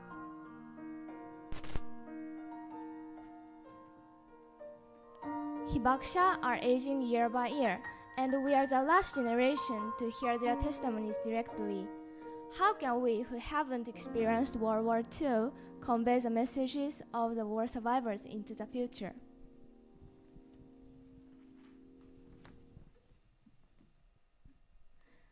Please look at this photo, which was taken in 1938 in Hiroshima. They are brothers and Hiroshima Industrial Promotion Hall which is now called the atomic bomb dome. By colorizing, how do you feel and what can you imagine? In 2017 in the summer, I met this younger brother, Mr. Hamai Tokuso, who once lived in the Nakajima district, where is now located Hiroshima Peace Memorial Park. His father ran a barbershop here. We can see his family in the animation movie in this corner of the world. Although he was evacuated, all his family members died by one atomic bomb, instantly destroyed. Since he lost his family, he has cherished this album. About 250 black and white photos are in it. Also, he told me that he went to the theater again and again because he could meet his family through the movie. So I thought of colorizing the photos and giving, him, uh, giving them to him so that he could always feel closer to his family. This was taken in 1935 in Hiroshima. Mr. Hamai saw this AI colorized photo and said, Wow, it's so beautiful, just like yesterday. My family seems to be alive. This was a scene of Ohanami party in Choju, and so these flowers are pink. So AI recognized the, these leaves green, but according to Mr. Hamai, these are cherry blossoms. So I manually adjust the color based on their, his color of memory. So this comes from rebooting memories. I've interviewed more than 30 residents of the Nakajima district and Hibakusha. Visualizing color of memory using AI colorization and the dialogue with war survivors can bring life back to their joyful memories vividly. And we can go into our imagination so that people suddenly lost by a single atomic bomb, it will lead to emphasize with the inhumane of atomic bomb and war. On May 19th this year, G7 leaders visited Hiroshima. They offered flowers and prayed for peace. This must be the huge impact for the civil society and global leaders around the world. However, could they imagine the peaceful lives that was suddenly lost in 1945 in Hiroshima? The daily lives of Nakajima district under the ground of present Peace Park? Just after two months, on July 19th, Mr. Hamai passed away. I strongly believe it is my mission to convey the messages through collab, mem- uh, collab memory with empathy. For six years, I have advanced my activities like exhibition, movies, smartphone application, colorized photo book, and music, and so on. Today, one of the colorized photos is exhibited over there, so please see it and take uh, and give me some comments, please. 78 years have passed since the atomic bomb was dropped on Hiroshima.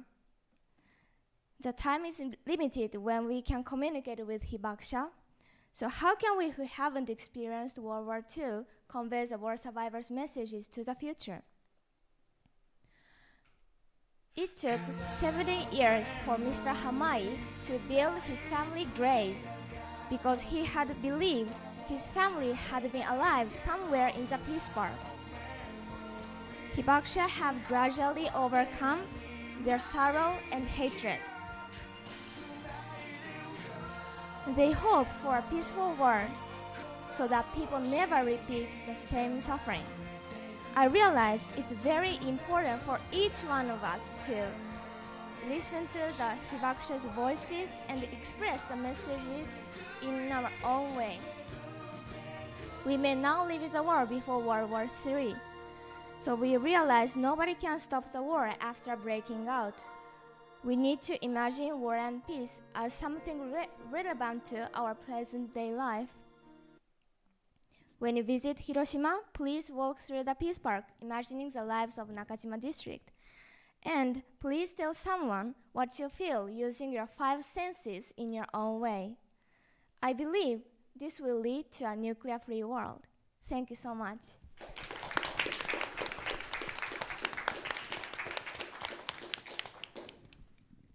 Amazing, Anju. Um, thank you. Um, I'm even speechless. um, thank, Thank you, you. for like keeping the memory of the Hiroshima. How did you feel about your presentation? Yeah, since uh, Mr. Hamai passed away in this July, mm, I regret to um, tell the messages of war survivors directly to G7 leaders. But um, this time, I could, uh, but this time, I can communicate with youth from uh, beyond the nations and tell the thoughts receiving from Mr. Hamai and other Hibakusha. So I'm very appreciated to give this opportunity today. So thank, you so much. Thank you.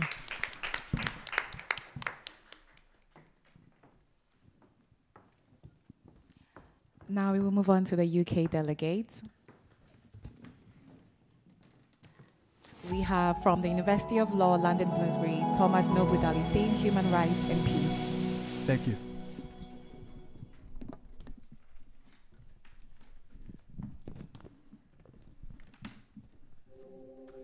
During a time where the search for perpetual peace is more important than ever, how can we speak inspiration in order to resolve our conflicts through the rule of law, not the rules of war? Fun- fundamental to our political systems are the legal principles which enshrine at law the relationship between the state and its citizens, known as a constitution. Our constitutions are an opportunity structure in terms of what citizens should strive towards, as well as the obligations the state has towards its people and posterity. Article 9 of the Japanese Constitution, entitled The Renunciation of War, is a case study not only how uh, constitutions can codify, communicates that peace is permanent as an ethos to the wider world, but that we can all be similarly committed to peace. Um, however, the challenge that's raised is constitutions are known to be uh, forged in flames. Along with the German Basic Law, uh, the Japanese Constitution was an outcome from World War II uh, results of horrible conflict and the vow to never again. So, therefore, the key question is posed how can contemporary countries with established constitutional orders implement pledges for peace? Okay.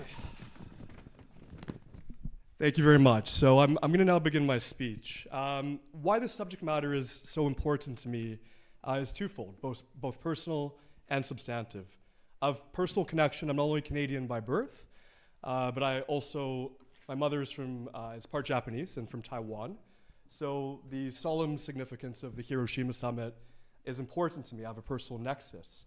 Um, also, there's a current geopolitical situation faced by Taiwan. Uh, as a law student, I, I, want to also not only use my field of study for uh, self enrichment. Sorry, next slide, please. It's the first slide. Um, Instead, I'm galvanized by the prospect that we can use law as a force for good, and I believe that it can be used as a profound, uh, profound instrument in the pursuit for peace. Next slide, please. Now, Prime Minister Kishida at the summit uh, articulated the Hiroshima vision. Um, now, I believe the rule of law can tie into this. As the member states and their invitees gathered for the 49th G7 summits, uh, Prime Minister Kishida, who's actually from Hiroshima, he laid out a highly symbolic declaration um, that we could all in the world be citizens of Hiroshima if we hold the memories, um, the solemn memories from 1945 in our hearts and our minds. And I think that relates to Anju's project. Um, so we can create a world without nuclear weapons and lasting peace. Next slide, please. This is the perfect analogy within the law that uh, the Japanese constitution is the perfect analogy for this. Uh, it came into effect after World War II on May 3rd, 1947. It contrasts to the previous Meiji constitution, which it superseded. The modern constitution instead places as a central principle the sovereignty of the people, uh, the will of the people, the unity of the people as these fundamental principles. Next slide, please that we can uh, derive uh, legal um, jurisprudence from. So, in order to understand the Constitution best, we can examine the preamble. I'll read some of it to you. We, the Japanese people, desire peace for all time, trusting in the justice and faith of the peace loving people of the world. We des- uh, desire to occupy an honored place in international society, striving for the preservation of peace. Next slide, please. This plays into Article 9, which is in the Japanese Constitution, the renunciation of war. It's enshrined in this that the people of Japan base their society not on supremacy and base on base their place in the world order not through this, but through harmony. It's a tangible mechanism as well, not only you know lip service or something for legal scholars, but it maintains regional peace in the Asia Pacific, and it can serve as a model in our common jurisprudence. Next slide, please. Here in the UK, um, there's a unique constitutional structure. It's an uncodified structure, unlike uh, Canada, where I'm from, for example. It's an outlier, and uh, instead, the sources of the Constitution are derived from the common law, as well as important statutes like the Magna Carta, which was shown earlier, as well as the Human Rights Act. Now, the Human Rights Act gives direct effect in domestic law to the European Convention on Human Rights, which was also adopted in 1950 after World War II. Similar to the Japanese Constitution, which means that um, a human right for peace can also be implemented in the UK. Next slide, please. I am from Canada, which is also a G7 partner, uh, a modern democracy. We have a codified structure uh, to our constitution, and key to that is the Charter of Rights and Freedoms. We grow up with uh, what we call the Charter. We learn about it in school, and it's the most important document concerning our political and civil rights. It unites us as, as Canadians. The Japanese Constitution unites Japanese people, and the UK's um, articulation does as well. So I believe that we can also codify uh, a similar principle within our constitutional structure. Next slide, please. In conclusion, key to this mission of achieving lasting peace for posterity through the law, through the rule of law, uh, for the hope that there will be a future generation without the carnage of war, the suffering depicted through you, your project, Anju, uh, in Hiroshima and Nagasaki, as well as this future without the proliferation of nuclear weapons. Uh, we, as young people, can engage through the rule of law, through these mechanisms, as future solicitors, as future advocates to our governments, in order to achieve lasting posterity for peace. Thank you very much.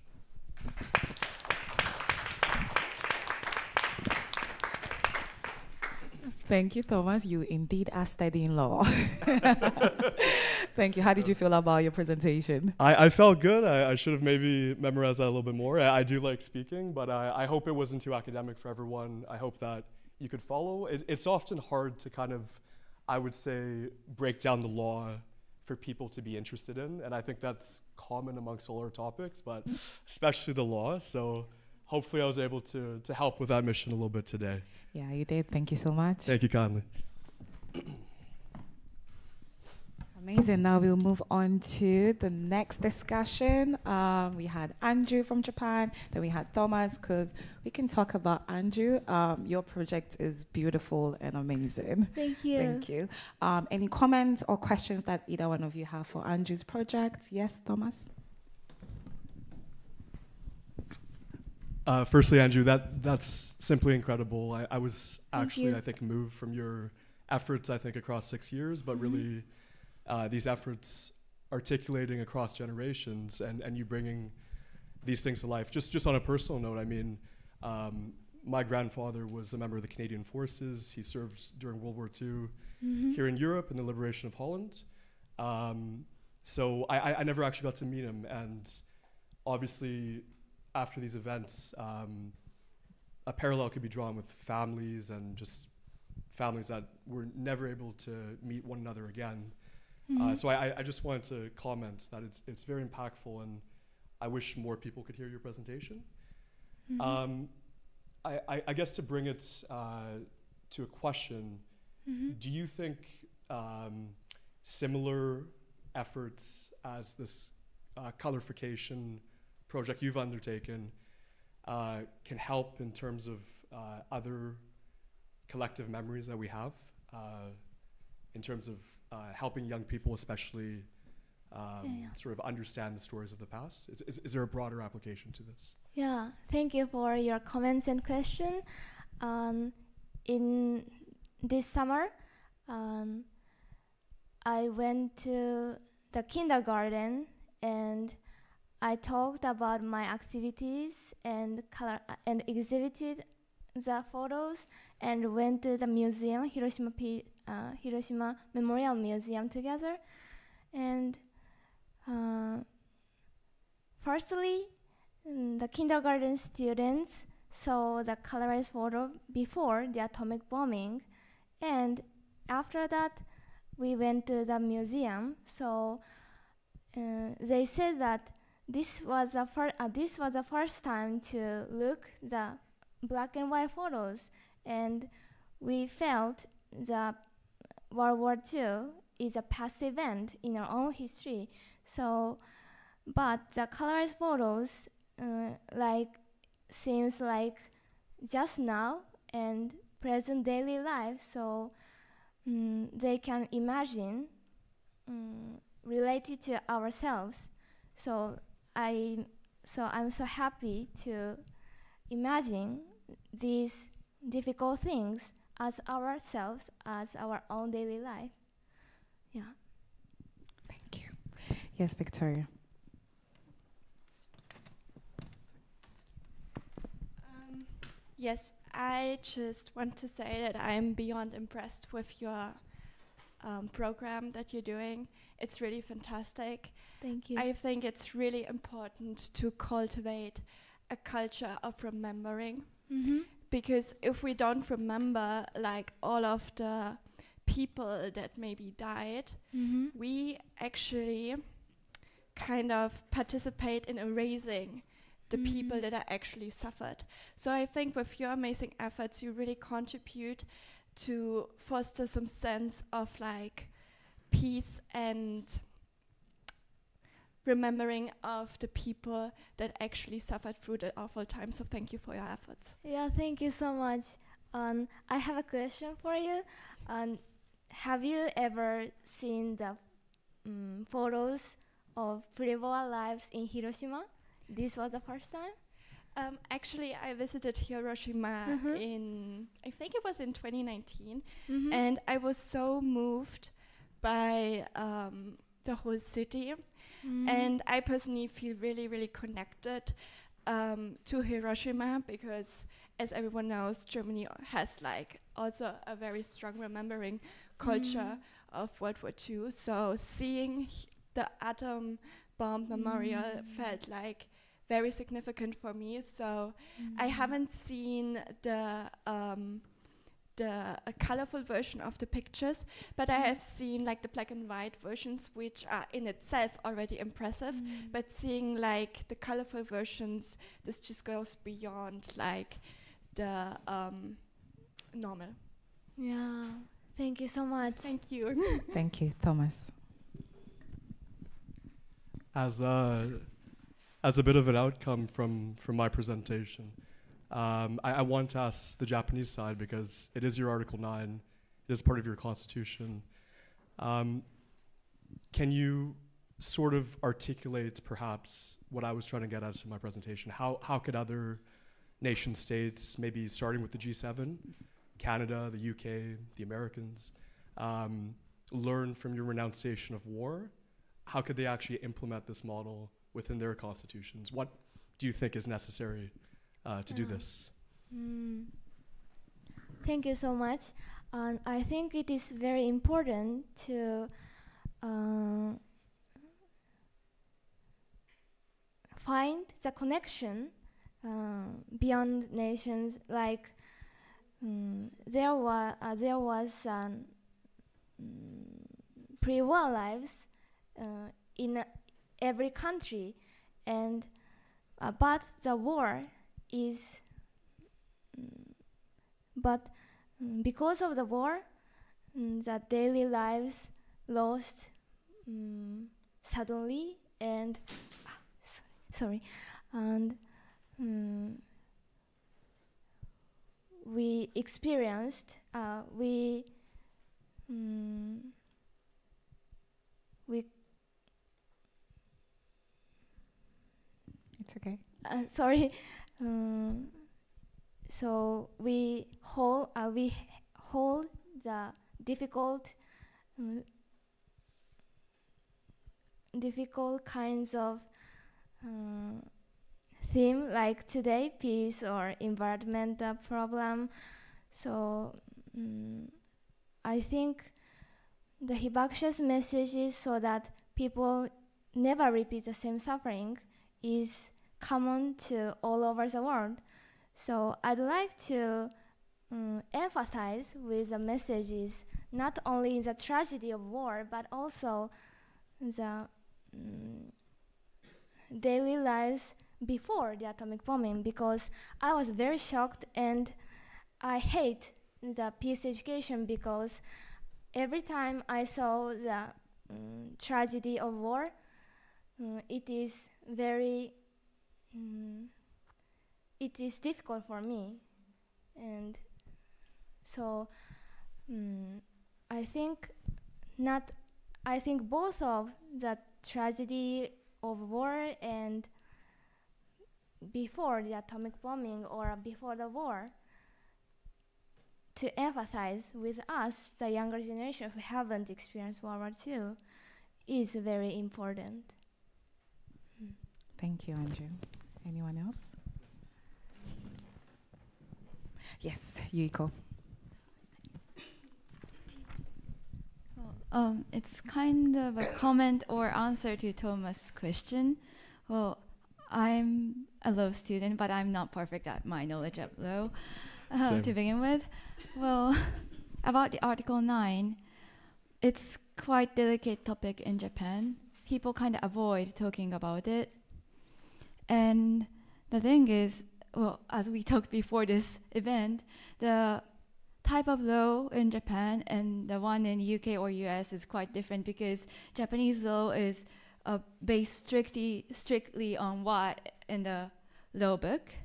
Um, but I think the good point, if I should say, about Article Nine is like they uh, they strictly wrote like we hope for peace and we cannot do the war. Well, I don't know about the politics right now. They might be changing. They are trying. I don't want to personally. I'm not supposed to say it. I don't know. anyway, uh, so what other countries can learn from Japanese law is that maybe writing it down as a, like strict rules might help in the future. Thank you. Beatrice? Um, I'm just curious, Thomas, uh, how how you started like this um, research in uh, the Hiroshima Constitution, and how do you think this should be taken to the next level?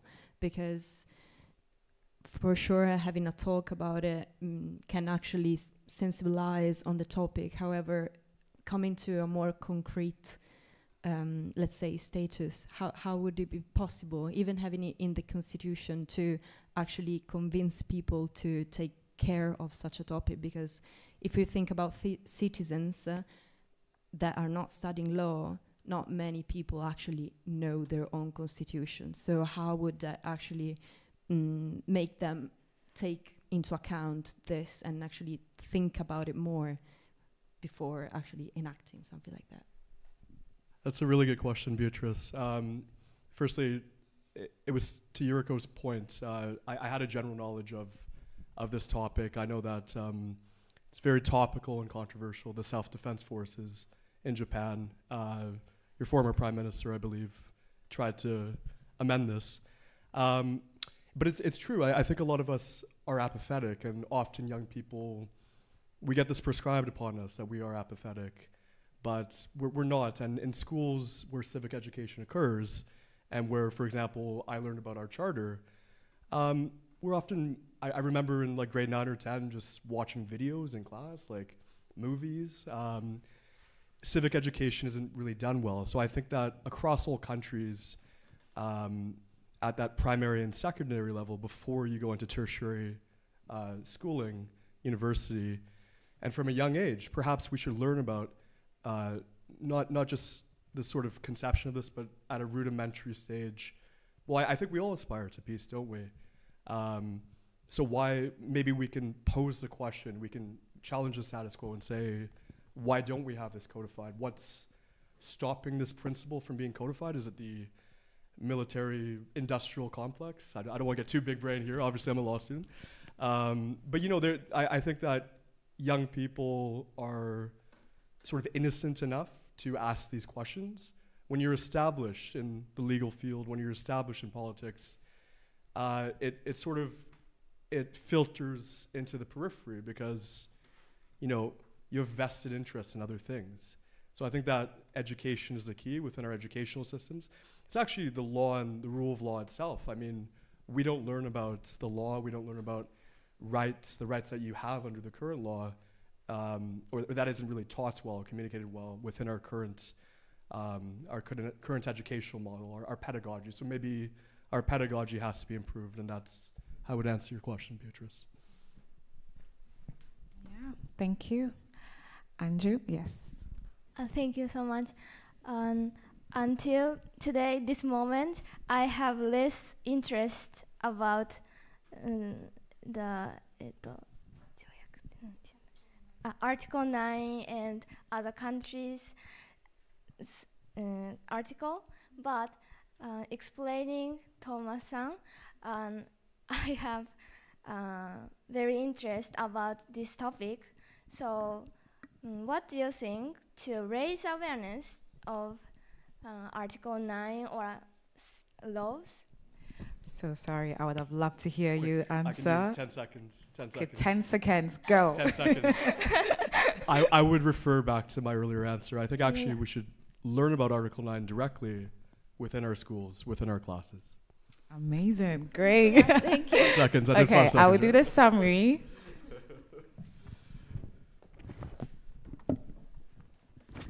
What would the summary be this time?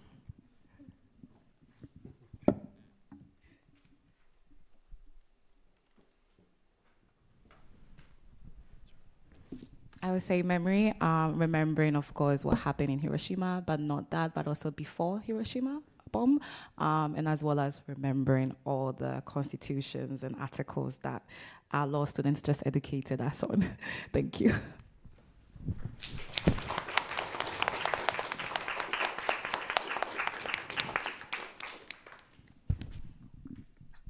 Amazing. Now we will go to the final step. Um, we will have our UK, um, sorry, our Japanese delegates next.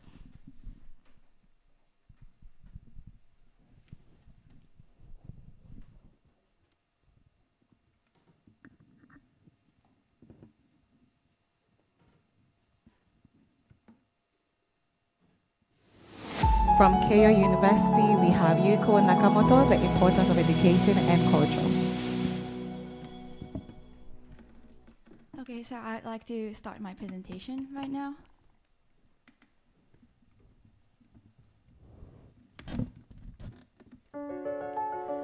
Through the pandemic of COVID, we have seen many concerts cancelled, theaters, museums closed.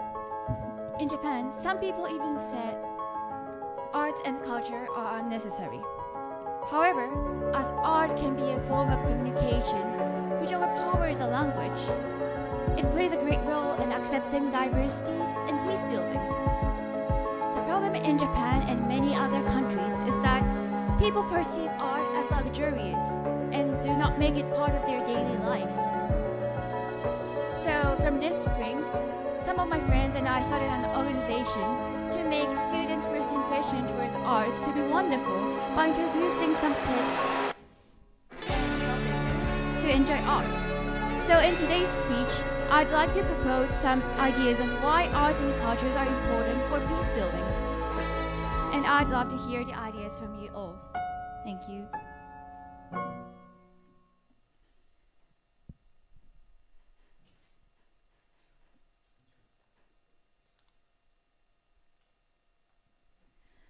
Okay, so I'd like to start my speech.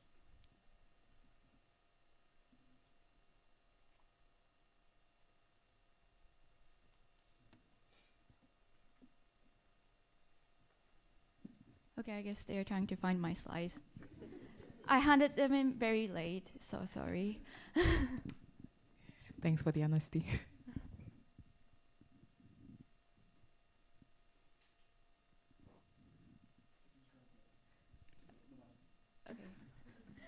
Um, Okay. Um, do you want to say a little bit from the, your intro video whilst we are looking oh yeah, for you? in intro video, I actually wrote about like art and culture and education, but I changed the topic like after I arrived at the UK.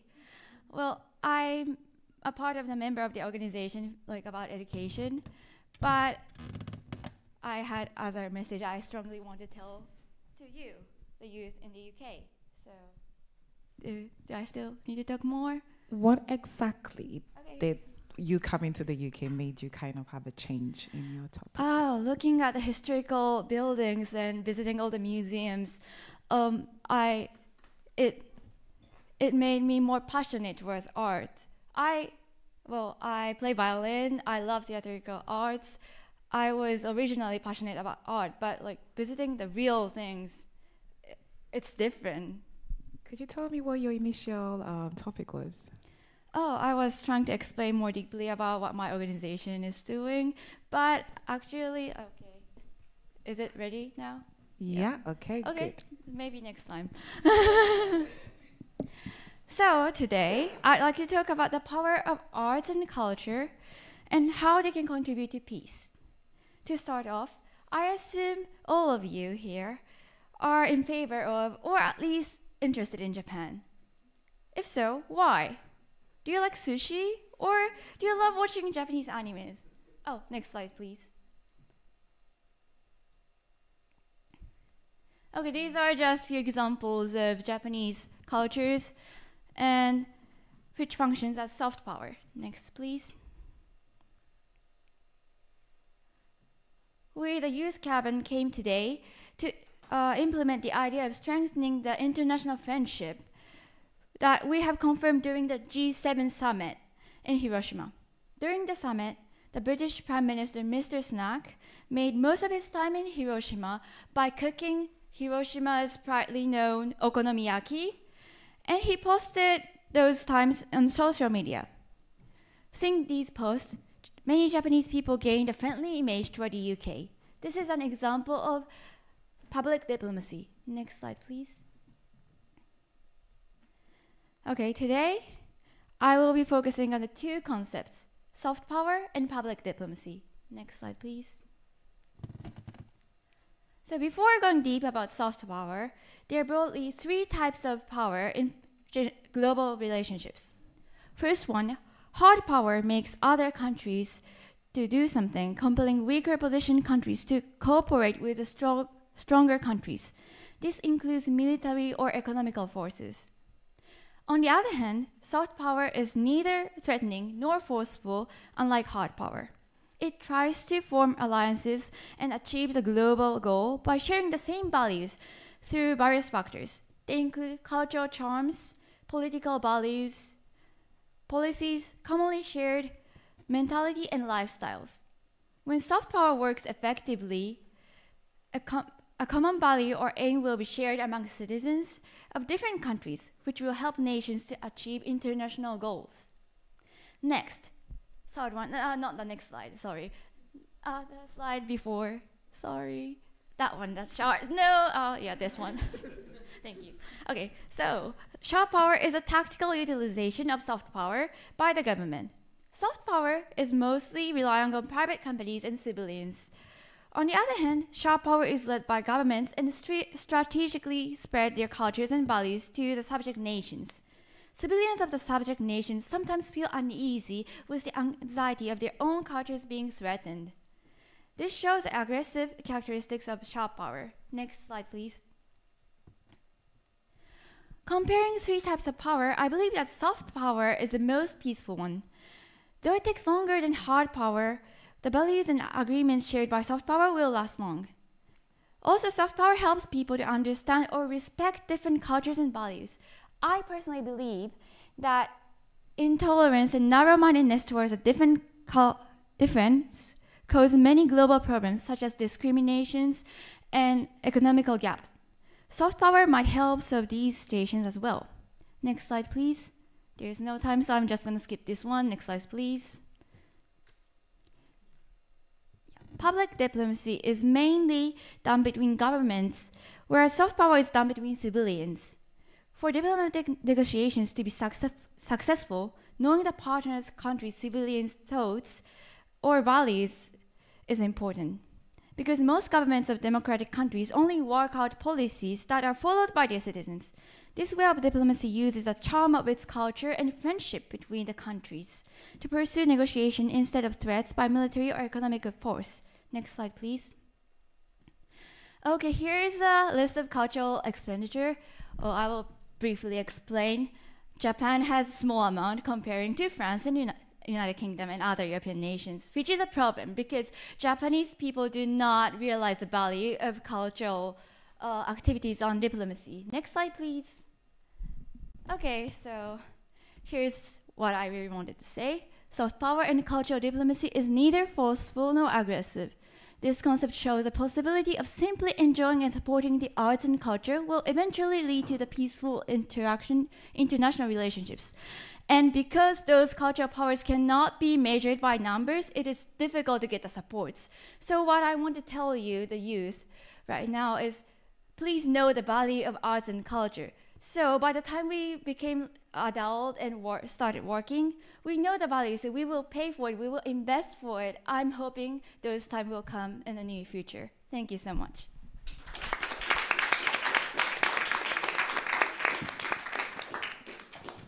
Thank you, Yuiko. Um, how did you feel about your presentation? Well, um, I was running out of time, so I skipped so many parts and I kind of improvised at the end, so sorry. That's me. No, you were great. Thank you.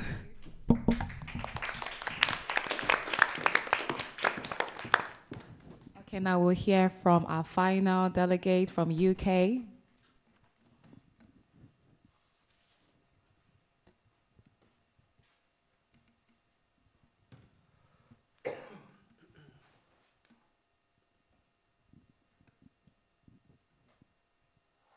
We have from University of College London, Alice Julie Pringault, theme human rights and education. I'm ready for the video.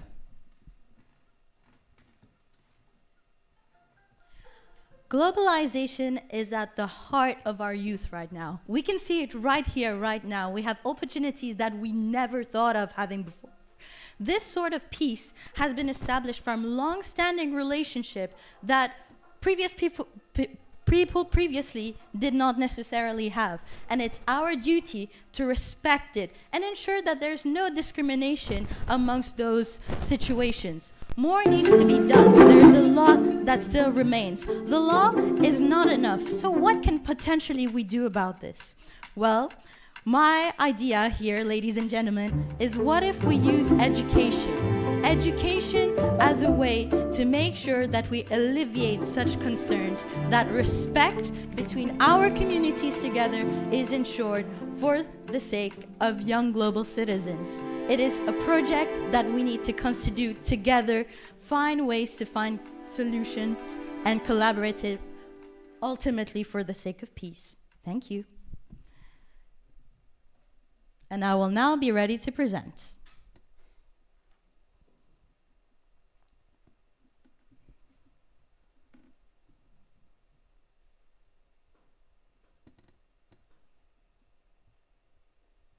Okay, thank you very much. So, my theme is human rights and education, and therefore I wanted to use education as a tool to ensure that respect is established amongst different communities. Next, please.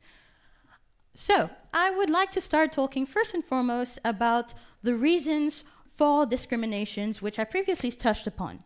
So, we can see that ultimately discriminations in all those various forms here can have visual effects of violence, conflicts, and stereotypes, which is not something that will help eternal peace. So what can we do about it? Next, please. I wanted to have a little bit of theory about that. Galtung talks about it within his work on the idea that conflicts and violence are manifested at the top, above the red line, but there are deeper rooted mentalities and levels that ultimately spark out those violent conflicts. One of them, mostly, being discriminations, which needs to be assessed and addressed through mentalities. So, what can we do about it? Next, please. My hot take is education. Next. So, from a theoretical understanding and perspective, I wanted to take awareness and raise the work of Nell Noddings, as you can see in that particular book, in her work Caring, which focuses on the idea of the ethics of care. Different concept, I know, right? But basically, it's the idea of how can we institutionalize the idea of care. At the end of the day, we all go through school. It is an institution that we have to go through. So I was wondering, well, if we already have to go through there, why don't we create and establish a community at school for then global citizens to go out in the world and have that idea of mutual respect? So, exactly, the smaller scale to the bigger. What would that in the end look like? Here are the ways in which that the application of the ethics of care would look like in different ways. First one being reviewing the ethics curriculum. So I'm not aware of exactly how it is, and I'd like to discuss it later. But at least in the case of the UK, we have something called the RSE, which is Relationship and Sexual Education, mostly talking about how can we make sure that we collaborate and that we create a respectful environment. At this current case, I feel like we could have more care within that, for it to come within us, and for emotions to be more respected and legitimized. Um, and that therefore create a community environment and ensure that we have restorative methods of tackling incidents to make sure that ultimately we're not separated from society as we go in the bigger, brighter world. Um, and that would then therefore allow for the debunking of prejudices, stereotype, and a healthy conversation for us to be made at a later stage. Next, please.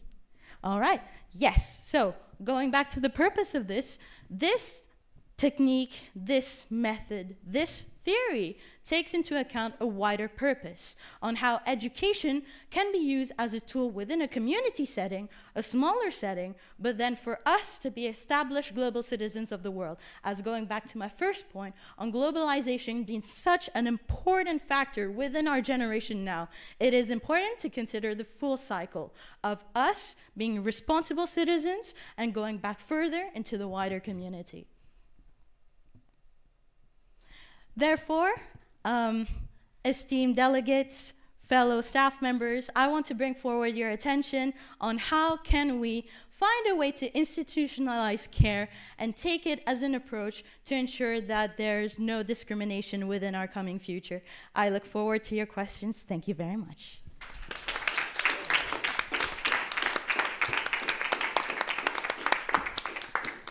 Beautiful, Alice. Thank you so much. Um, how did you feel about your presentation? Honestly, it's an honor to be here and also to go last. It was fun.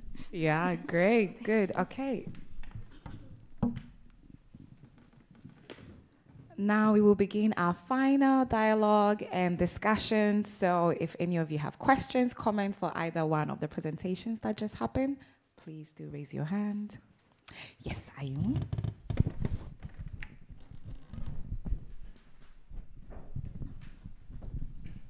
And this is a comment for Alice. And then I get surprised at the, the facts you presented, like the an ethics curriculum or the school as a community are the things, the exactly things the Japanese government is trying to achieve. So like the um, the standard curriculum, the newly uh, renewed, the contained the the discussion about the ethics education, and the the, the local schools is trying to get the support from the local families and then neighboring neighbors as a, like the resources to enforce quality education. Mm -hmm. So I guess applies the and the, the things you presented, and then thank you for that. Thank you very much for your comment, Ayumu. Um, I think that it is a way to move forward. It's not to say that education should not be performative. At the end of the day, we, do, we go to school to learn, right? But I think it is definitely a turning point for youth, for people like us to move forward and being more open minded and just take in consideration that we have a lot of great things to learn from each other. Thank you. Anyone has any more questions? Yes, Anju? So this is for a comment for Yuiko and the question for UK side. Actually, uh, in Japan, it is uh, considered that, like you know experiencing art is something kind of luxury. But I was surprised to know that in the UK, when we are going to museum or like something that like we don't have to pay, you know, you don't we don't have to pay. So do you think you know? Um, do you have much more like opportunities to you know enjoy arts in UK compared you know, with other countries? I just want to know about it. I'm happy to answer.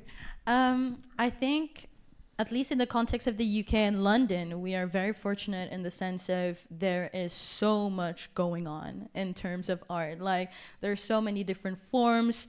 Uh, you would have random flash mob dances, and I love the theater. Yeah, I know you were saying about it, but I think it is it is a very it's a privilege to be able to have a community that is so open and supportive of that. Um, nevertheless, to say, I think that it's definitely it doesn't show the idea of one form of art bigger than others. I feel like Japan is such an enriching and culture filled country that I would love to know more about it. But maybe with more initiatives, it could be more interesting to have that exchange. Thank you. Yeah, Thomas. Uh, great presentation, Alice.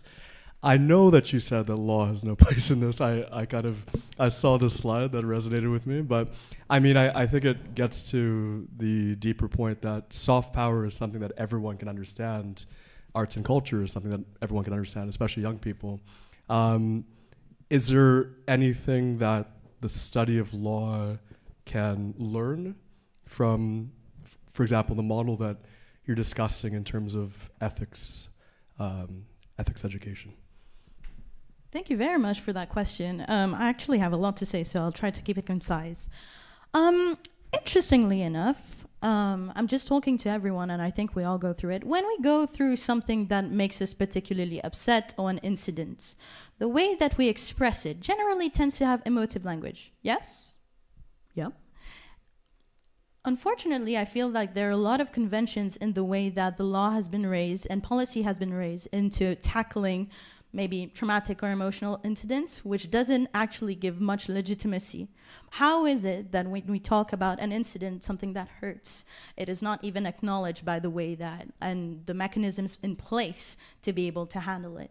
And I think in that way, because it's what we've always known, um, a particular way of writing law um, and I'm just putting it out there. I think it could be interesting and valuable to think of the conventions that we have on understanding law and tackling with things like discrimination and figuring out, well, how can we find more meaningful and acknowledging ways if we have even such short sort of language barrier?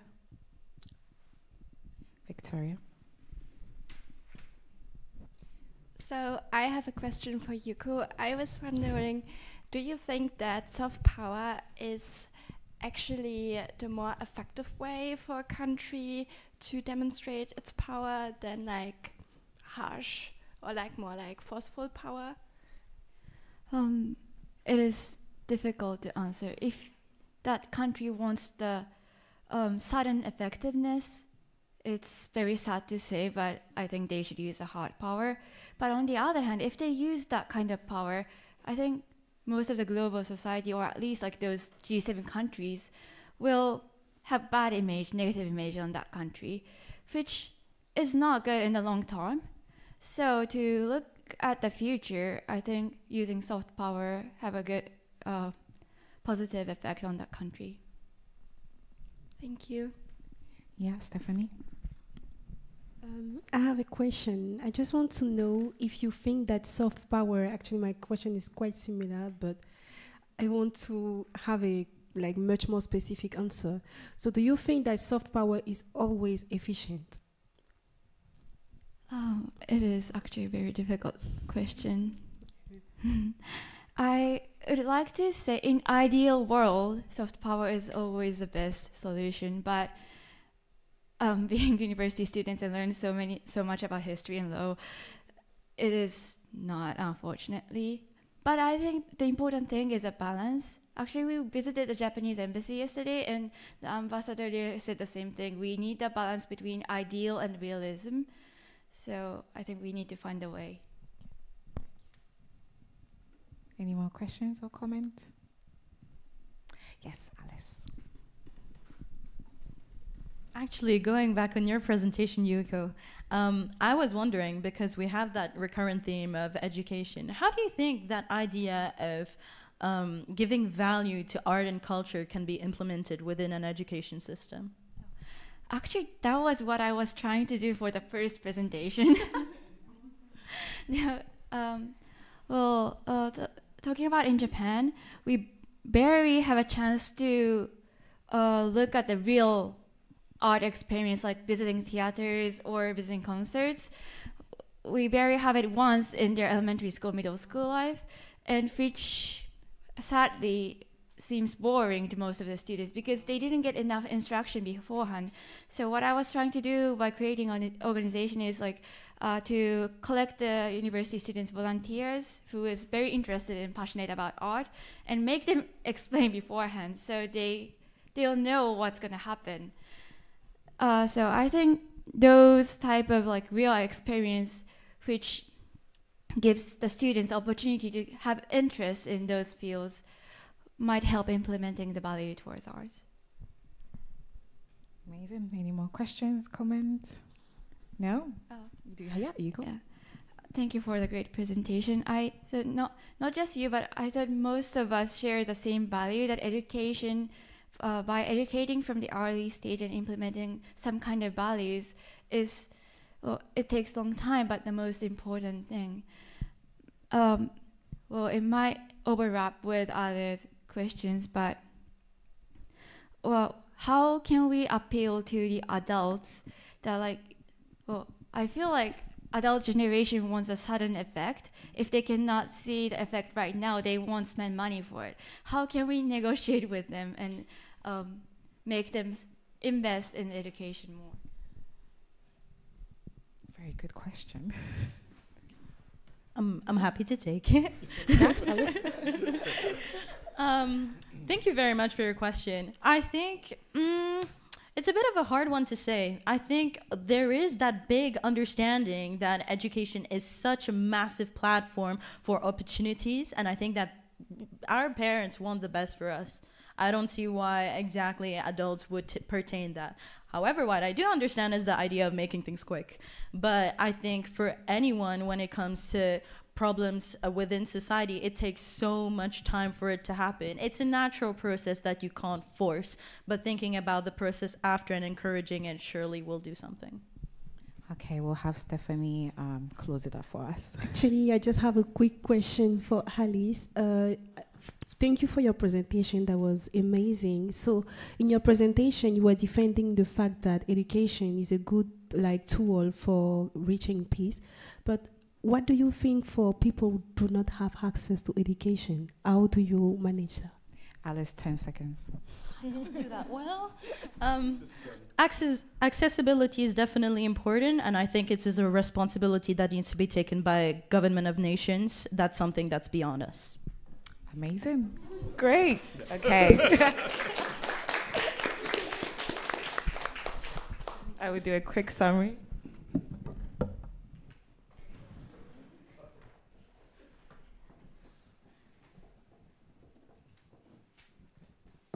I would say definitely the theme is education.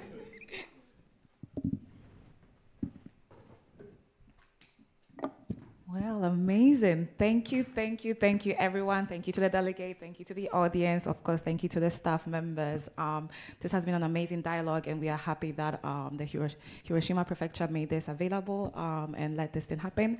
Um, so many ideas have come out of this, so many discussions, but we don't just end here, right? Because as youth, you guys are going out there in the world and actually actively making sure that all of your um, your passion that you have for sustainable future is actually happening in your local cities. So I hope we're able to have actionable insight in here um, and kind of do the approaches in our respective places. So I'll conclude here. Um, thank you so much. Salome here. Arigatou gozaimasu.